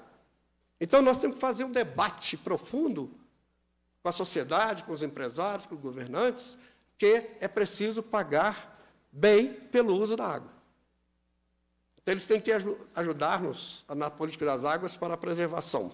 Bom, já estou terminando, deputado. Então, eu queria aqui é, fazer uma reflexão com vocês. Eu não vou me estender, porque não é tema disso, mas mudança climática. Eu prefiro crise climática. O que está acontecendo no mundo? A irresponsabilidade dos homens chegou aí. E aqui eu vou dar um exemplo prático. Eu morei, a televisão mostrou semana passada, eu morei na cidade de Tefé, lá no meio da floresta amazônica. Eu morava em frente ao lago de Tefé. Esse lago tem uma, uma largura média de 10 quilômetros, profundidade de 20 metros, média de 10 a 20 metros. É um volume de água colossal. Ele secou. 153 botos eu via boto lá toda hora. 153 botos morreram. Eu estou pegando só um exemplo. Eu vivenciei lá oito anos, morando de frente para o lago. Um pôr do sol dos mais bonitos do mundo. E se nós não é claro que lá tem fenômeno El Ninho, etc. Mas, se nós não cuidarmos, podemos chegar ao que está acontecendo no Amazonas. Eu repito, é uma complexidade de fatores. Mas nós temos que ter a nossa responsabilidade, não só as gerações atuais, mas aquelas crianças que estavam sentadas há pouco ali. Então, é, é, é preciso que a gente chame a atenção da sociedade para nos ajudar. Ela, ela, a água não é responsabilidade só do governo, não, de todos nós. E, para terminar mesmo, deputado, chegou semana passada, retrasada, nessa casa, é, o PELOA, né? projeto da lei orçamentária anual para 2024. Eu faço aqui um pedido. Quanto está destinado, aí eu não sei como é que, tecnicamente, ou para água ou para meio ambiente. A SEMAD é a segunda arrecadadora de recursos financeiros para o Estado. A SEMAD é a segunda arrecadadora. Então, é preciso que jogue percentuais de recurso financeiro para a política do meio ambiente. Não é justo você cobrar e ter lá uma percentagem mínima. Eu repito, eu não sei os valores, mas eu pediria, Vossa Excelência, como presidente dessa importante comissão, fizesse, você ter o direito de cobrar mais recursos financeiros, porque foi mostrado plano de saneamento básico, importantíssimo, plano de segurança hídrica, vários programas e projetos. E aí, lá na nossa documento da agenda propositiva, a gente colocou onde vamos buscar os recursos para implementar isso. há um velho ditado que diz que papel aceita tudo. Mas é preciso que o IGAN, o sistema, o SISEMA, tenha recurso financeiro para que a Polícia Federal não tenha. A, a Polícia Federal, lá da, onde eu, eu, nós temos lá um grande problema, o Marcelo foi lá, que é o, uma represa Chapéu Duas. 50% da água de Juiz de Fora vem desse manancial. Mansões e mais mansões, com, o Marcelo viu, com os próprios olhos dele. Mansões e mais mansões sendo construídas na beira da, da represa. Como é que pode? Cadê a omissão do Estado, dos órgãos fiscais? Quem concedeu?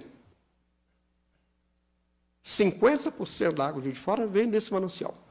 Então é preciso que nós tenhamos, deputado, nesse PELOA, orçamento para 2024, que Vossas Excelências que vão aprovar esse projeto de lei, vindo do governo, anualmente ele vem, né? e eu repito, ah, você tem uma grande responsabilidade de nos ajudar, enquanto presidente dessa casa, sei do seu histórico, de, né? fiquei sabendo né, da sua interesse de nos ajudar nas questões da água, do fidro.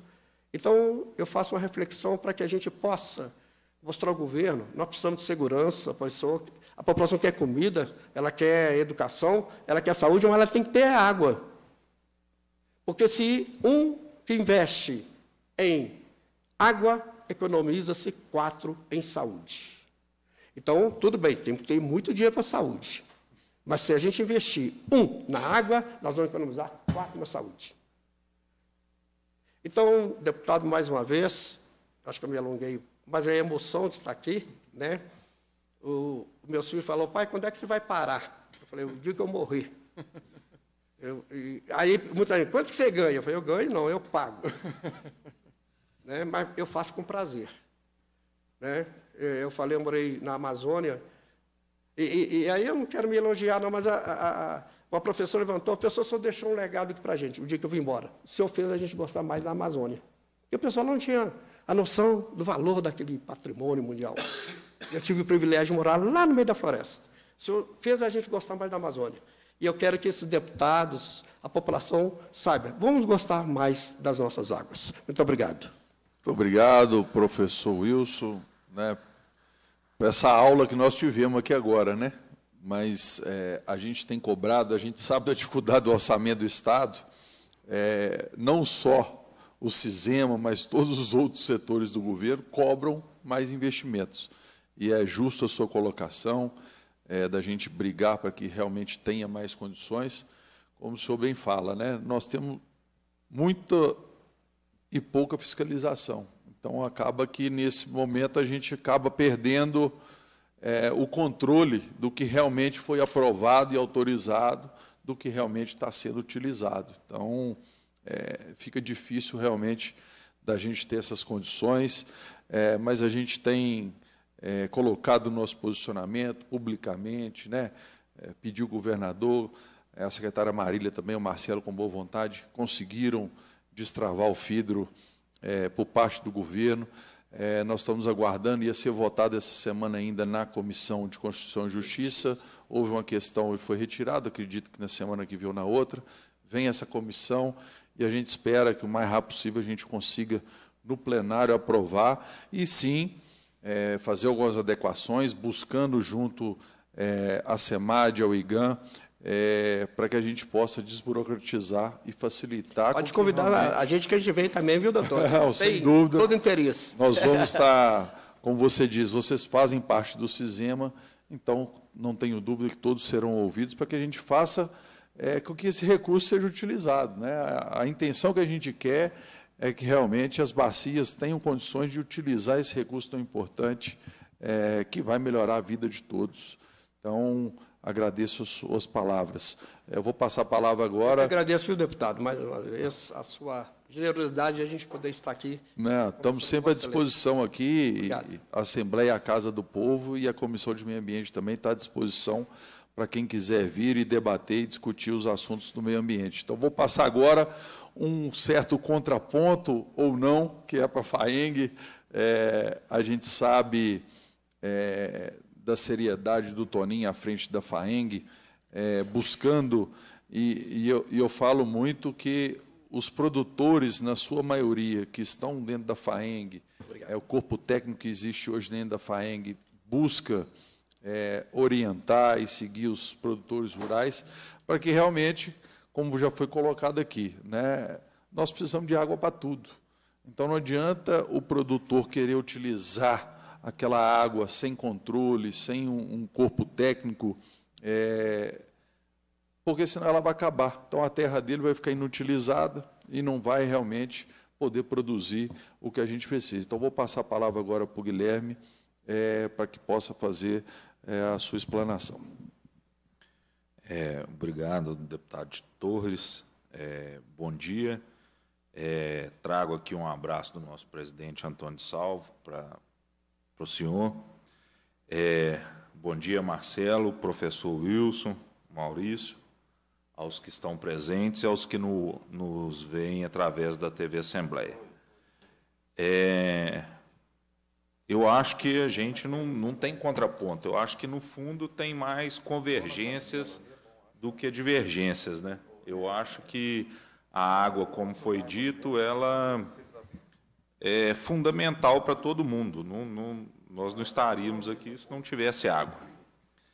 É, dentro dos, do que foi feito aqui pelo Marcelo, a apresentação, parabenizar o Marcelo e a toda a equipe do IGAM pelo trabalho que, que é realizado.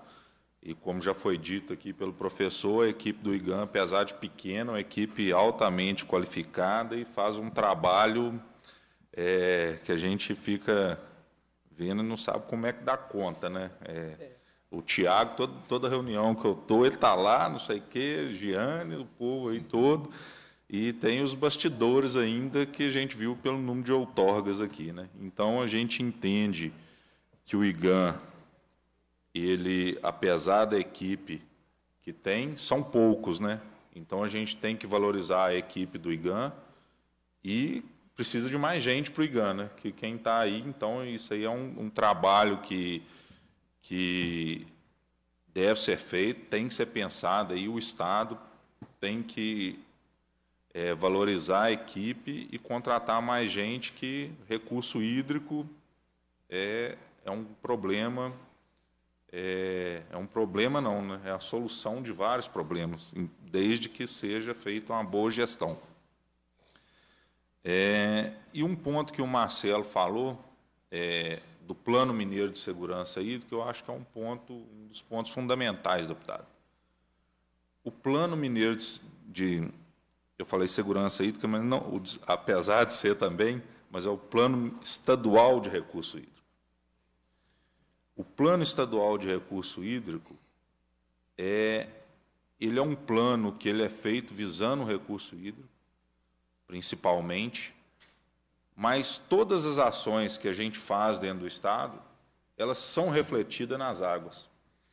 Então, é, esse plano de recurso hídrico, a gente estava até falando, eu falei isso no Conselho Estadual de Recursos Hídricos, a gente fez uma oficina, e nessa oficina a gente falou, as outras secretarias do Estado têm que ter uma visão para esse plano de recurso hídrico. Quais ações que a secretaria está fazendo numa determinada região ou num determinado setor, o que que isso vai afetar nas águas ou o que que essa ação pode ajudar no cumprimento do plano estadual de recurso hídrico. E como a gente está aqui na Assembleia, eu gostaria de fazer essa mesma proposta para os nossos deputados. Toda ação, toda verba que vai ser destinada para um, para um projeto, para uma ação, para uma obra, o que, que, que isso vai afetar no nosso plano? Está de acordo? Vai ajudar no cumprimento de alguma ação? Isso é integração.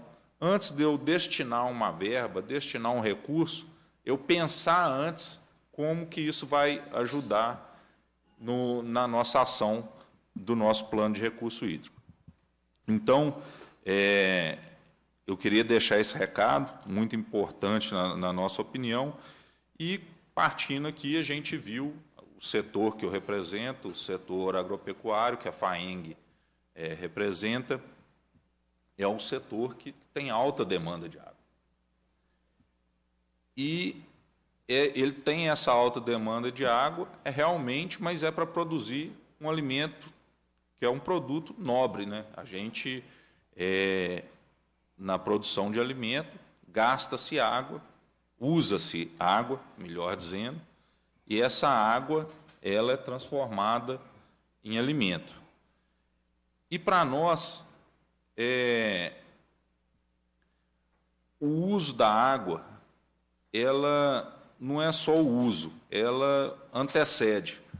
Como o professor falou que a gente tem que cuidar das nascentes, professor, é antes da nascente. A gente tem que cuidar do nosso solo, que é ali que, cuidando bem do nosso solo, é ali que vai, o resultado disso vai aparecer na nascente. Não adianta a gente ter uma torneira, numa analogia com a casa, né, uma torneira pintada de ouro, toda protegida, se a nossa caixa d'água está furada. Então, o solo é a nossa caixa d'água. E a gente, quando a gente fala muito em produção de água, em infiltração de água no solo, a gente pensa muito em mata, em preservação, que não está errado também, é uma parte importante. A gente tem, inclusive, uma legislação brasileira muito rígida nesse sentido. A gente é, entende também que a produção de água ela tem que ser além das matas nas áreas produtivas. Então, o uso adequado do solo e a gente precisa é, melhorar muito isso, que a gente vê que a gente tem áreas degradadas no estado de Minas Gerais. Então isso vai além. Isso interfere diretamente na vazão dos rios, nas águas subterrâneas.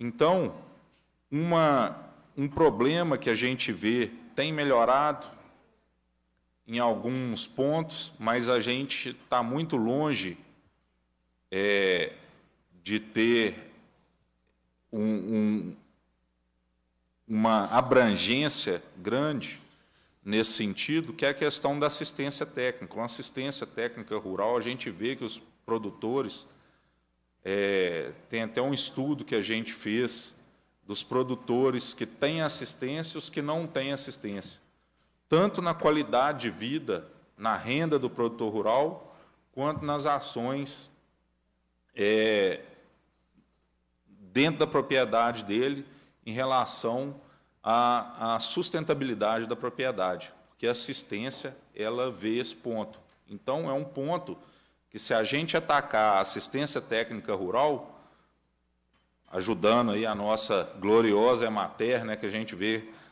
é a mesma situação do IGAN. Muitos a Emater está em todos os municípios, mas em muitos municípios é um técnico da Emater por município.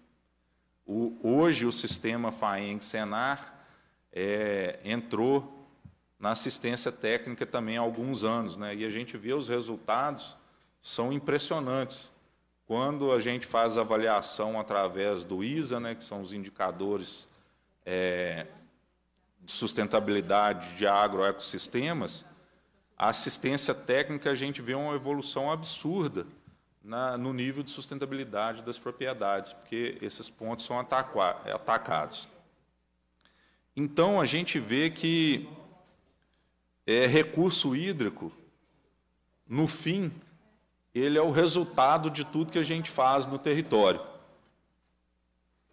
É, um outro ponto que eu queria levantar aqui também é a questão da segurança hídrica, que tem um plano que está sendo elaborado. Esse plano, é, a gente entende ele como fundamental, principalmente é, para a região norte do estado, né? região norte, Vale de Jequitinhonha. E, mas a gente vê também, né, pelos, pelo que o Marcelo mostrou aqui, as regiões que a gente considera que tem um volume de água grande já está tendo algum problema. Triângulo, algumas áreas na região metropolitana, pelo volume de gente. Então, essa, esse, esse plano de segurança hídrica é, ele deve apontar algumas ações né, de, de, regularização de vazão, de implementação de, de técnicas para infiltração de água no solo. Outro ponto importantíssimo que os municípios também devem se atentar é a questão das estradas. A gente vê, às vezes, o, município faz uma estrada nova, ela está lá em cima, aí o barranco da estrada vai só aumentando. Aquele barranco que está aumentando ali, é a água está indo toda parar lá no rio, assoreando o rio. Então, é um problema sério. É, é um ponto importante que a gente tem que observar e depende dos municípios que, que estão aí na execução na maioria das estradas vicinais é, públicas, né, municipais.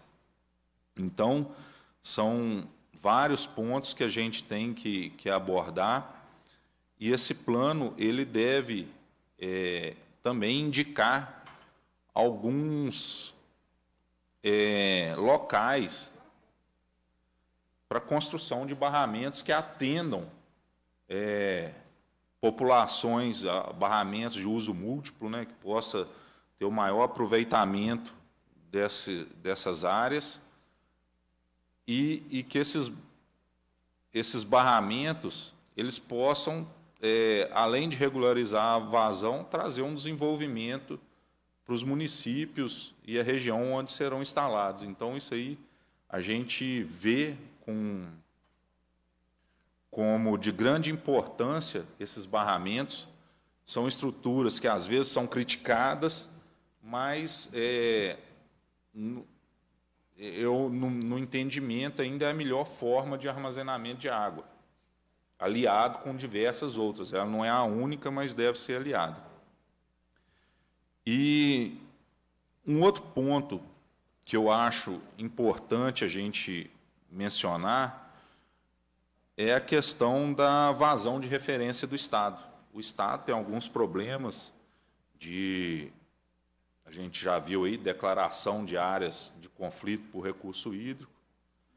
Se essas áreas, nas mesmas condições, estivessem em outros, outros estados, talvez não estariam com, sendo declaradas como áreas de conflito por recurso hídrico, devido à vazão de referência do Estado de Minas Gerais ser a vazão mais restritiva. Não estou aqui fazendo juízo de valor, se é bom ou se é ruim, é, mas é uma vazão, Minas tem uma vazão que dá uma certa garantia no fluxo dos rios. Então, essa a Q710, que é a vazão que é utilizada no Estado, ela é uma vazão de referência que ela é muito restritiva. É, o IGAN já vem apontando, e eu acho positivo, a, a Q710 sazonal, né, mensal, na bacia do Rio Doce já tem, eu acho que isso ajuda é, muito devido no mês que você tem mais água, o empreendedor ele pode fazer o maior uso da água, ele não fica limitado à vazão mínima. Então, quando a gente fala em irrigação, muita gente pensa que irrigação é colocar água é, na cultura quando está faltando. Então, a irrigação é, é, a gente colocar a quantidade adequada de água na planta para ela ter o maior desempenho. Muitas vezes a gente está no mês de janeiro, mas é necessário que a planta seja irrigada. Então, a gente pode ter um aumento de uma cultura irrigada nas, na, nos períodos de chuva e uma que vai aumentar essa produção, essa produtividade na área, e no período é, de estiagem a gente pode ter uma redução de área e talvez o produtor ele não vai ter duas safras ou três safras dependendo da cultura, mas ele vai ter uma safra bem feita e uma parte dessa área ele poderá utilizar como uma segunda safra. Ele não vai ter a área toda é, onde ele possa usar o tempo inteiro, mas ele pode ajustar o seu planejamento para que ele faça um uso melhor dessa água nos períodos em que ela é mais é, é, ela, no período que ele tem mais água. Então, eu acho que isso ajuda muito no planejamento, eu acho que vai, é uma tendência para todo o Estado, já começou em uma bacia, E, e, e eu acho que isso já vai ser um ponto de grande ajuda. E eu acho que. Deixa eu ver se eu anotei mais alguma coisa aqui. É, ah, o professor, isso aqui, esse é um contraponto que eu quero colocar, professor. Vamos lá. O professor colocou aqui da outorga, que muitas vezes não é fiscalizado, é um, é um processo de autodeclaração. Eu não me preocupa muito o usuário que é outorgado. O usuário que, que é outorgado, ele já deu o endereço, já deu o CPF, já deu a coordenada, já falou para que, que ele está usando, já tá, falou para onde que ele vai usar. O que me preocupa mais é quem não tem outorga, o, o produtor irregular, que é muita gente. E a gente, é, sempre que o IGAN divulga uma notícia, uma matéria, uma norma, a gente faz isso com os produtores, dá palestra, divulga também no nosso site, tenta fazer essa ação para que mais pessoas busquem a regularização. Porque só através dessa regularização é, o IGAM vai conseguir fazer uma gestão mais eficiente. E um outro ponto que eu queria colocar aqui, aproveitando esse contraponto, é a questão do relatório que o produtor tem que fazer em relação ao uso da água dele. É, hoje, a gente vê que o IGAM, ao longo do tempo, vem aperfeiçoando o, o a gestão, a, os, os equipamentos de gestão, né, vamos dizer assim, e mais ainda a gente vê que muito do que o usuário encaminha para o IGAN, ele fica lá e vai ser analisado só na renovação da outorga. Então, o, o empreendedor ele gasta um recurso grande, ele tem um, um trabalho que demanda um tempo para fazer esses relatórios, essas preencher essas planilhas, e isso tudo não está sendo usado na gestão. É, então a gente espera que esses dados, mesmo como que não sejam utilizados como dados oficiais do Estado, mas sejam dados que sejam considerados na gestão, não só no momento da renovação, porque quando ele é analisado só no momento da renovação, o que a gente sente, o que a gente vê que o empreendedor sente, é que ele está só preenchendo um papel e se ele esquecer de preencher um dia ali, ele não tem a licença renovada, que é um outro ponto que a gente entende que tem que mudar. Não é porque ele deixou de preencher um dia, um mês, ou teve um atraso, que ele deva ter essa licença, essa outorga cancelada, ou no caso da licença ambiental, a licença cancelada. O, a gente vê também o IDAL, né, já é um passo adiante disso, mas a gente entende ainda que há espaço para melhorar. E o IGAN já vem implantando agora também, o MIRA, né, que para as, as áreas que já estão em conflito e alguns é, outorgas de maior porte vão fazer isso através da telemetria. A gente espera que os resultados é, sejam utilizados e, entendemos também que isso vai ajudar muito na gestão de recurso hídrico. Mas eu acho que, que para finalizar, que o plano estadual ainda é o nosso caminho e ele tem que ser referência e os planos dentro da bacia.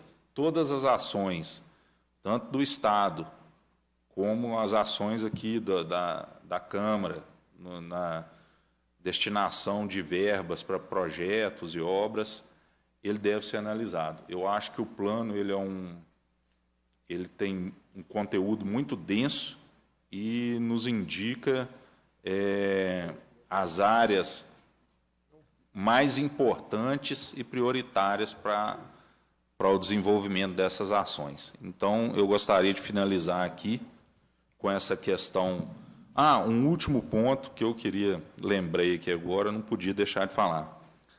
A gente fala muito hoje na agenda SG, né, pagamento para o serviço ambiental, a gente vê algumas ações, mas a gente não tem isso. É, esse custo da preservação da mata que o produtor tem lá, esse custo ele fica todo para o produtor rural. A gente é, tem que estabelecer um programa melhor de pagamento por serviços ambientais. Eu não, eu não entendo que esse programa é, seja a maneira mais eficiente através do, do governo bancar isso, como já tentou com Bolsa Verde. É necessário uma quantidade de recursos muito grande, mas a gente tem que desenvolver uma ferramenta que faça com que é, empresas ou instituições tenham como fazer esse repasse desse recurso com a certificação direta ao produtor rural de forma mais facilitada. Porque o que acontece é o seguinte: a gente tem visto é, esse pagamento através de crédito carbono em empresas muito grandes. São empresas grandes que têm altos recursos e aí elas conseguem fazer tudo, mesmo se não tivesse esse pagamento. E os pequenos produtores, que muitas vezes estão fazendo na propriedade ali, tem a área, aquela área que ele está deixando de produzir para preservar, muitas vezes ela é, é, o limite dele permanecer no campo ou deixar o campo. E esse pequeno, muitas vezes, ele não está conseguindo atingir esse crédito. Então, a gente devia buscar vias mais fáceis de conseguir e, da mesma forma, a produção de água. Né? É, técnicas que esse produtor faça que aumentem o aporte de água no solo, consequente na água subterrânea e no deflúvio dos rios, é, também deveriam ser não, é, ter um aporte através desse pagamento para os serviços ambientais. Eu queria finalizar com isso, que eu acho que é, isso é de grande importância. Tem um mercado que todo mundo fala na televisão, né, mas a gente não tem visto esse mercado chegar no pequeno e no médio produtor. Então era isso. Muito obrigado aqui pelo convite. Muito obrigado ao Guilherme. O seu contraponto até faz razão, né, professor? Porque realmente quem tem outorga ainda tem uma certa responsabilidade. O CPF, como diz o Guilherme, está lá. O problema, e aí, mais uma vez, voltando na falta de servidor, de valorização, que a gente não consegue é, acompanhar todos os postos artesianos, todas as outorgas é, que existem hoje no estado de Minas Gerais. Mas é, a fala do Guilherme mostra realmente a complexidade. Né? Nós temos que cuidar do solo, das matas, cuidar da água, e realmente de ter essa parceria né, entre a Secretaria de Agricultura, a Secretaria de Meio Ambiente, para que realmente os técnicos da Ematec são muito eficientes, ótimos servidores, é, tenham também essa capacidade é, e conseguir chegar é, nos produtores e mostrar como fazer a utilização melhor da água, é, talvez não necessidade de tanta água para aquela produção. Às vezes nós estamos perdendo nesse ponto. E como ele colocou muito bem, e eu sei disso, que a gente acompanha as outras comissões aqui da casa, às vezes tem um técnico da Ematé também para cuidar de 100 produtores. então, não tem capacidade humana é, para dar realmente uma assistência de qualidade ao produtor rural. Então, é, sem dúvida, esse plano é, tem que ser discutido, como foi colocado, em todos os setores, em todas as, as cadeias produtivas, né, para que realmente a gente tenha o uso mais consciente da água e consiga preservar. E voltando à fala do professor, realmente, né, nós somos a caixa d'água do Brasil. Né? Tudo nasce aqui, mas né, nosso São Francisco, por exemplo, vai daqui, deságua lá no mar daqui até lá e ninguém é responsável para a manutenção da nascente né, e dos seus afluentes até chegar lá. Então, acho que é importante a sua fala desse questionamento que a gente tem que levar esse debate a nível federal para que os outros estados também tenham essa responsabilidade e nos ajudem a manter um bem que é fundamental para eles lá também. Então, vou passar a palavra agora para o Maurício Nicolau, coordenador regional da Associação Brasileira de Águas Subterrâneas, Núcleo Minas Gerais. Tem a palavra. Bom dia a todos. É, quero agradecer a toda a mesa aí em nome do deputado Tito. Agradecer principalmente da, dessa possibilidade de estar aqui falando né, sobre o recurso hídrico. A ABAS ela é uma associação técnica onde a gente preza aí pelo conhecimento e quanto mais pessoas falando da nossa água subterrânea, né? Porque a água superficial todo mundo enxerga.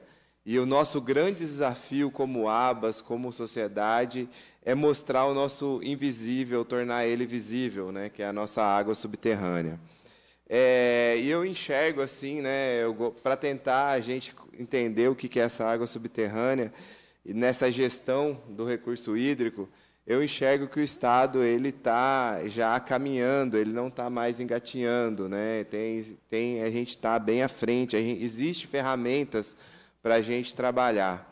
Peço também é, desculpa que eu estou com a voz um pouco, né? Gente, é, eu fiz questão de vir também, estava com um problema aí de saúde, mas se é para falar de água, se é para falar de recurso hídrico, a gente tem que fazer um esforço como o professor bem disse, né, a gente tem que estar à disposição.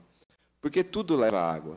Tudo é gerado com água. Nosso corpo, a maior parte é água. Então, assim, Minas Gerais, eu entendo que ela já está caminhando, ela existe muitas ferramentas, como já foi citado aqui pela, pela mesa, que está olhando para esse bem. Né? E essa gestão hídrica ela é significativa, porque, além do que foi citado aqui, da capacitação dos técnicos que têm que conseguir avaliar esse recurso, avaliar essa integração entre a água subterrânea, a água superficial, fazer essa gestão hídrica, né, de, do ciclo hidrológico, eu tenho que também fazer a sociedade entender do que eu estou falando. E o IGAN está com ferramentas para que isso aconteça. O IGAN procura muito a ABAS, principalmente o Núcleo Minas Gerais, tanto para capacitação quanto para participar dos grupos técnicos né, normativos que vêm sendo desenvolvidos durante os anos e teve uma intensificação muito grande ultimamente. Então a gente tenta estar tá junto para elucidar, né, como a ABAS é um grupo, é uma associação técnica, a gente tenta lá mostrar o, quais são o que, que é né, essa água subterrânea, o que, que é a nascente, quando né, eu tenho que ter essa interação saudável e sustentável da, da nossa operação, de seja agro, seja mineração, seja ela é, desenvolvimento urbano. É, Minas Gerais é, foi elogiada pelo IPT, Instituto de Pesquisa e Tecnologia do Estado de São Paulo, porque a gente existe uma ferramenta dentro do IGAN que é a ferramenta de pesquisa hidrogeológica. Então, assim, é quando o IPT viu essa ferramenta e viu como o IGAN utiliza essa ferramenta para conhecimento, porque o que a gente precisa, que foi bem colocado pelo Marcelo e por todos, de certa forma, aqui da mesa, que a gente tem que ter o quê? O conhecimento, falar sobre esse conhecimento e monitorar esse conhecimento monitorar como está andando né, essa, essa interação hídrica. E o, e, essa, e, essa, e o IGAN, a partir de um momento que essa ferramenta surgiu para mineração, a interação da mineração com a água subterrânea, o IGAN é, entendeu que, poxa, não é só a mineração que interage com a água subterrânea, mas sim o meu desenvolvimento urbano. Se eu já tenho a ferramenta, por que não aplicar? E aplicou. O meu agro também se ele está usando e está crescendo no meu estado, que é uma coisa ótima né, para todos, é, por que não, já tendo essa ferramenta, eu não aplicar também? Porque a gente tem que ter essas soluções, ter é, pessoas que consigam falar do, do recurso, trazer informações para capacitar outras pessoas que consigam ainda falar desse recurso. É, indo um pouco no viés né, dessa questão de de não só gerar conhecimento, mas também de fiscalização, é, a ABAS hoje está junto ao CREA para a questão de que eu também sou a favor das outorgas e de quem registra na outorga, porque lá a gente já está registrado e tem o CPF e a gente tem como rastrear. E a Abas, pensando nisso junto com o CREA, é, tem um projeto que já vem andando, que é tentar acabar com essa clandestinidade de perfuração de poços, porque o que, que é, qual que é o primordial da interação da água subterrânea? É o que, que a gente tira ali de DNA, onde a gente vai buscar a informação? É quando a gente faz um furo. Né? Então, esse furo tem que ser muito bem acompanhado, muito bem planejado, e os órgãos responsáveis têm que estar cientes desse furo. Então, assim, a, essa clandestinidade ela é prejudicial, por conta que a gente foge do controle, a gente vai ficar sem controle de algo que a gente precisa enxergar. Né? Até para que aqueles dados ali estejam 100% monitorados. Né? Com certeza, porque o monitoramento. Existe, né? É, porque o monitoramento, seu deputado, é o que vai fazer com que a gente tome a decisão mais rápida e mais assertiva. Porque o monitoramento ele vai trazer o dado. Hoje, como o Marcelo colocou, a gente tem capacidade de trazer esse dado em tempo real. É, quando eu vim para Minas Gerais, há mais de 10 anos atrás, a, a questão de tecnologia não estava tão assim é, vívida nas nossas vidas e assim, a gente entende que a, a, o privado ele tem muita informação. Tem muita informação. E com essa informação, o Estado consegue tomar decisões. A gente consegue tomar decisões mais assertivas com o nosso recurso hídrico, que hoje é aí, né, o que a gente está vendo no mundo, que é, é, é o que caminha para tudo, para a solução aí de, de, da, da humanidade. É, deixa eu ver aqui com a minha colinha também, né? é, e assim, é, eu sei que eu fiquei por último para falar, né? Mas perto da hora do almoço, acho que todo mundo aí também está tá ávido. Mas a, a, a situação importante é o seguinte: a gente não vai conseguir correr uma maratona se a gente lá atrás não começar a engatinhar, não começar a andar, aprender a correr para correr essa maratona. Eu vejo o IGAN, lógico que no caminho a gente vai tropeçar, cair, ralar alguns joelhos. Por isso que o IGAN, eu vejo, essa, é, eles estão tentando envolver a sociedade, estão tentando envolver as associações, até para ser mais assertivo nas decisões que eles têm que tomar quanto ao recurso hídrico. É, vejo uma das ferramentas que eu não podia deixar de citar, que eu levanto essa bandeira junto com o professor Ricardo Irata, que é uma referência em recursos hídricos subterrâneos no, no país e, e, fora do país, que é a questão da recarga artificial regerenciada. O IGAN já está enxergando isso. O, o, o, Ricardo Irata, o professor, ele até falou, nossa, Minas Gerais de novo saindo na frente. Então, assim, a partir do momento que eu consiga fazer a gestão do recurso hídrico entre água subterrânea e água superficial, que ela se complemente, e associado a isso, eu pensar num recurso que eu consiga aumentar, né, facilitar o meu armazenamento subterrâneo, como bem colocado aqui pelo nosso amigo, né, é, Guilherme é, a gente vai conseguir fazer essa gestão do recurso. Mas antes, eu vou bater na tecla, voltar lá na primeira fala do professor e do Marcelo. A gente tem que capacitar os técnicos. E para isso, aí o pessoal já falou bastante, tem que ter recurso, né? Não adianta. É, a gente tem que falar com a sociedade, mostrar com a sociedade o que é o recurso e o que está sendo feito. Então, acho que esse é, era o meu recado aí final e obrigado. Nós que agradecemos, Maurício, pelas suas palavras. Nós vamos caminhando pelo fim aqui, mas é, até para que a gente tenha isso e fique registrado né, aqui na Assembleia, seja transmitido, é até perguntar para o Marcelo, né, ou para o professor Wilson também, o Maurício, o FIDRO, né? Hoje nós temos o, uma grande questão hoje em Minas Gerais, que é o saneamento básico.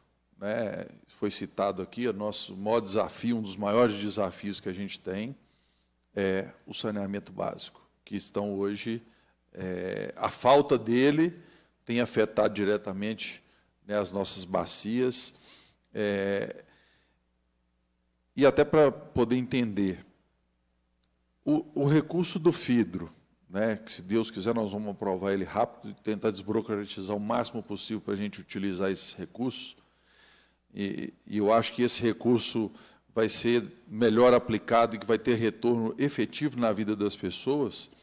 É, há um conflito de interesse, alguma forma, no sentido, por exemplo, de fazermos é, saneamento básico. Ah, nós vamos fazer uma, uma ETA, uma ET, é, vamos conseguir executar isso. E ser a Copasa que faz a gestão disso. É como existe uma sobreposição de, de algum sentido, esse recurso pode ser enviado para a Copasa, ou a Prefeitura executar, ou alguma entidade nesse sentido, só para que realmente a gente entenda, porque a gente é procurado na comissão, todos os deputados da Casa, é, buscando recursos para saneamento. Né? Hoje é o interesse de todos que, que o município tenha saneamento básico e, como a gente já colocou aqui, não tem recursos no Estado para que a gente consiga. Né? Muitas vezes a FUNASA tenta fazer é, com os municípios de menor porte, é, algumas têm sido executadas. É, na própria bacia do Rio Doce, é, essa confusão de renova, que não faz praticamente nada, mas eu vi alguma coisa sendo feita. Né? São José do Goiabal foi uma que foi feita é, recentemente com esse recurso. Né? Teve aqui agora há pouco, cumprimentei o prefeito Sem Peixe, que está ali. É, a cidade é sem peixe, mas depois de um tempo que ficou sem peixe mesmo, viu, professor? Porque é banhado pelo Rio Doce, então não era sem peixe antigamente, mas infelizmente ficou. É, então a gente vê algumas prefeituras, é, nos buscando ajuda para que realmente a gente consiga levar saneamento básico para os municípios. É possível é, que a gente consiga, de forma célere, colocar recursos nesses municípios através do FIDRO para execução é, de saneamento básico? É, certo. O, um, do, um, dos eixos né, de financiamento do FIDRO é exatamente saneamento. Né? Ele pode ser capta, captado pelo município. É, tem, a gente tem recursos tanto não reembolsáveis como reembolsável. Então, na medida que, dependendo do tipo de né, de, de agente que estiver captando recurso, ele vai para um ou outro. E quando, é, se o recurso for para algum município que tem concessão, né, independente de ser Copasa ou qualquer outra, tem que ser tratado para esse investimento não ser computado na tarifa ou na hora de uma eventual rescisão contratual.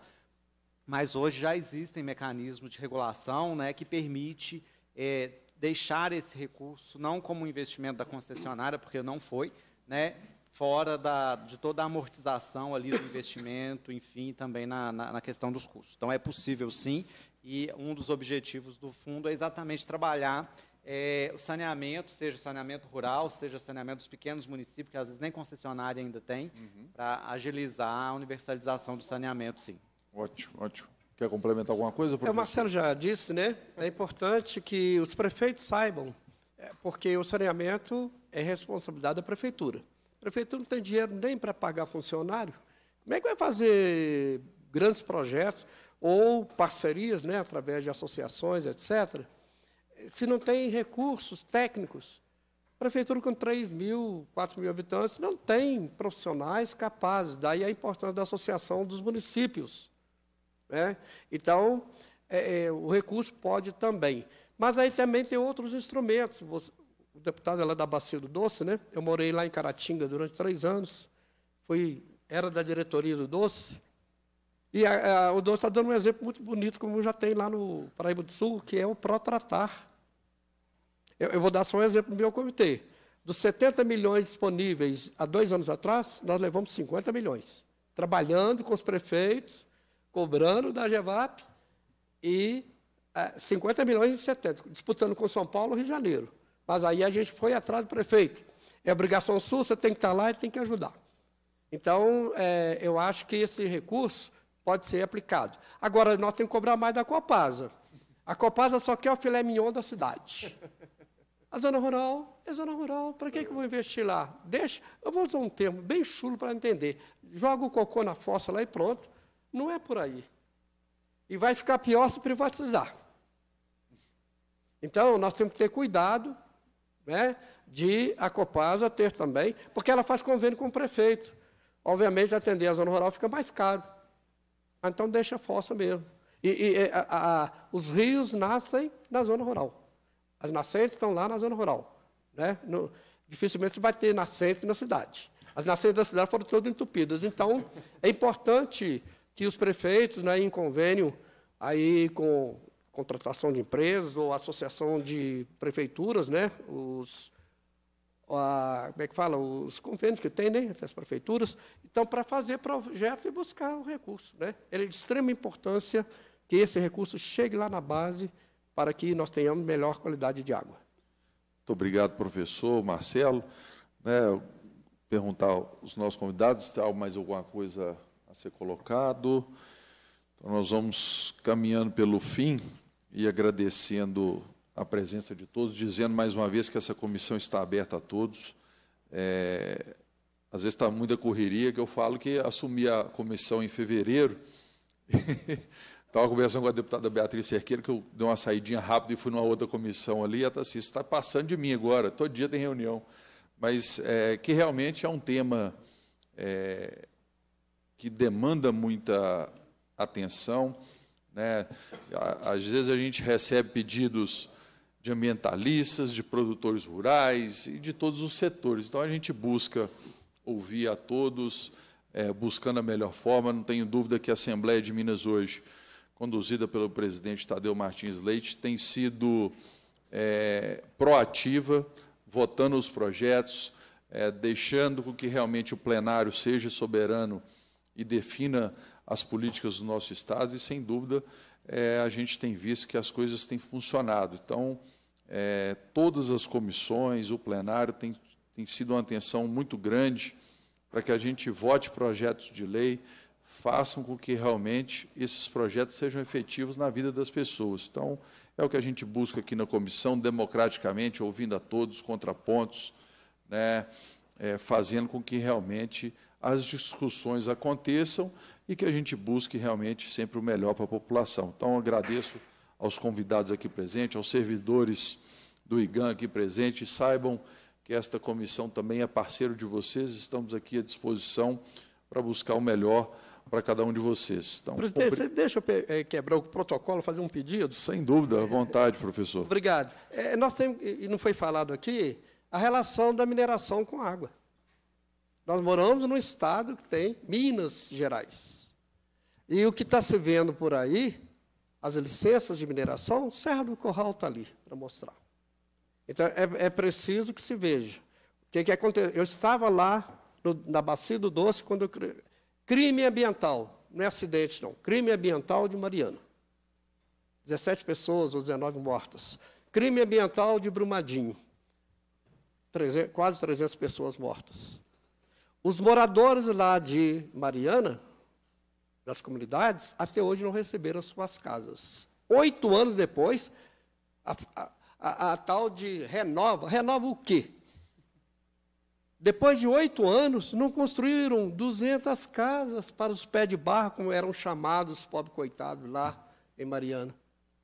Cadê a fiscalização disso, gente?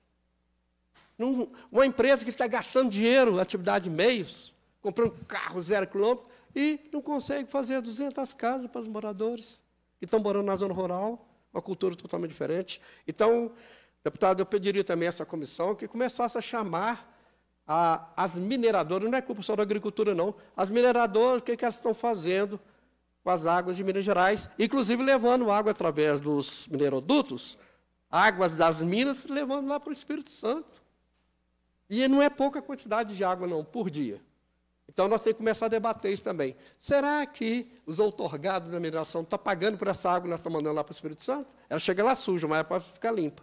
Então, eu, eu presto aqui homenagem àqueles que foram atingidos pelos crimes ambientais de Mariana e de Brumadinho e cumprimentar meus amigos aí, presidentes dos comitês, que são todos, todos nós, nós somos voluntários e diuturnamente estamos ali tomando conta das nossas bacias hidrográficas. Muito obrigado, presidente. Muito obrigado, professor. Cumprida a finalidade da reunião, a presidência agradece a presença né, dos nossos convidados, do público presente. Convido os membros para a próxima reunião ordinária, determina a lavratura da ata e encerra os trabalhos.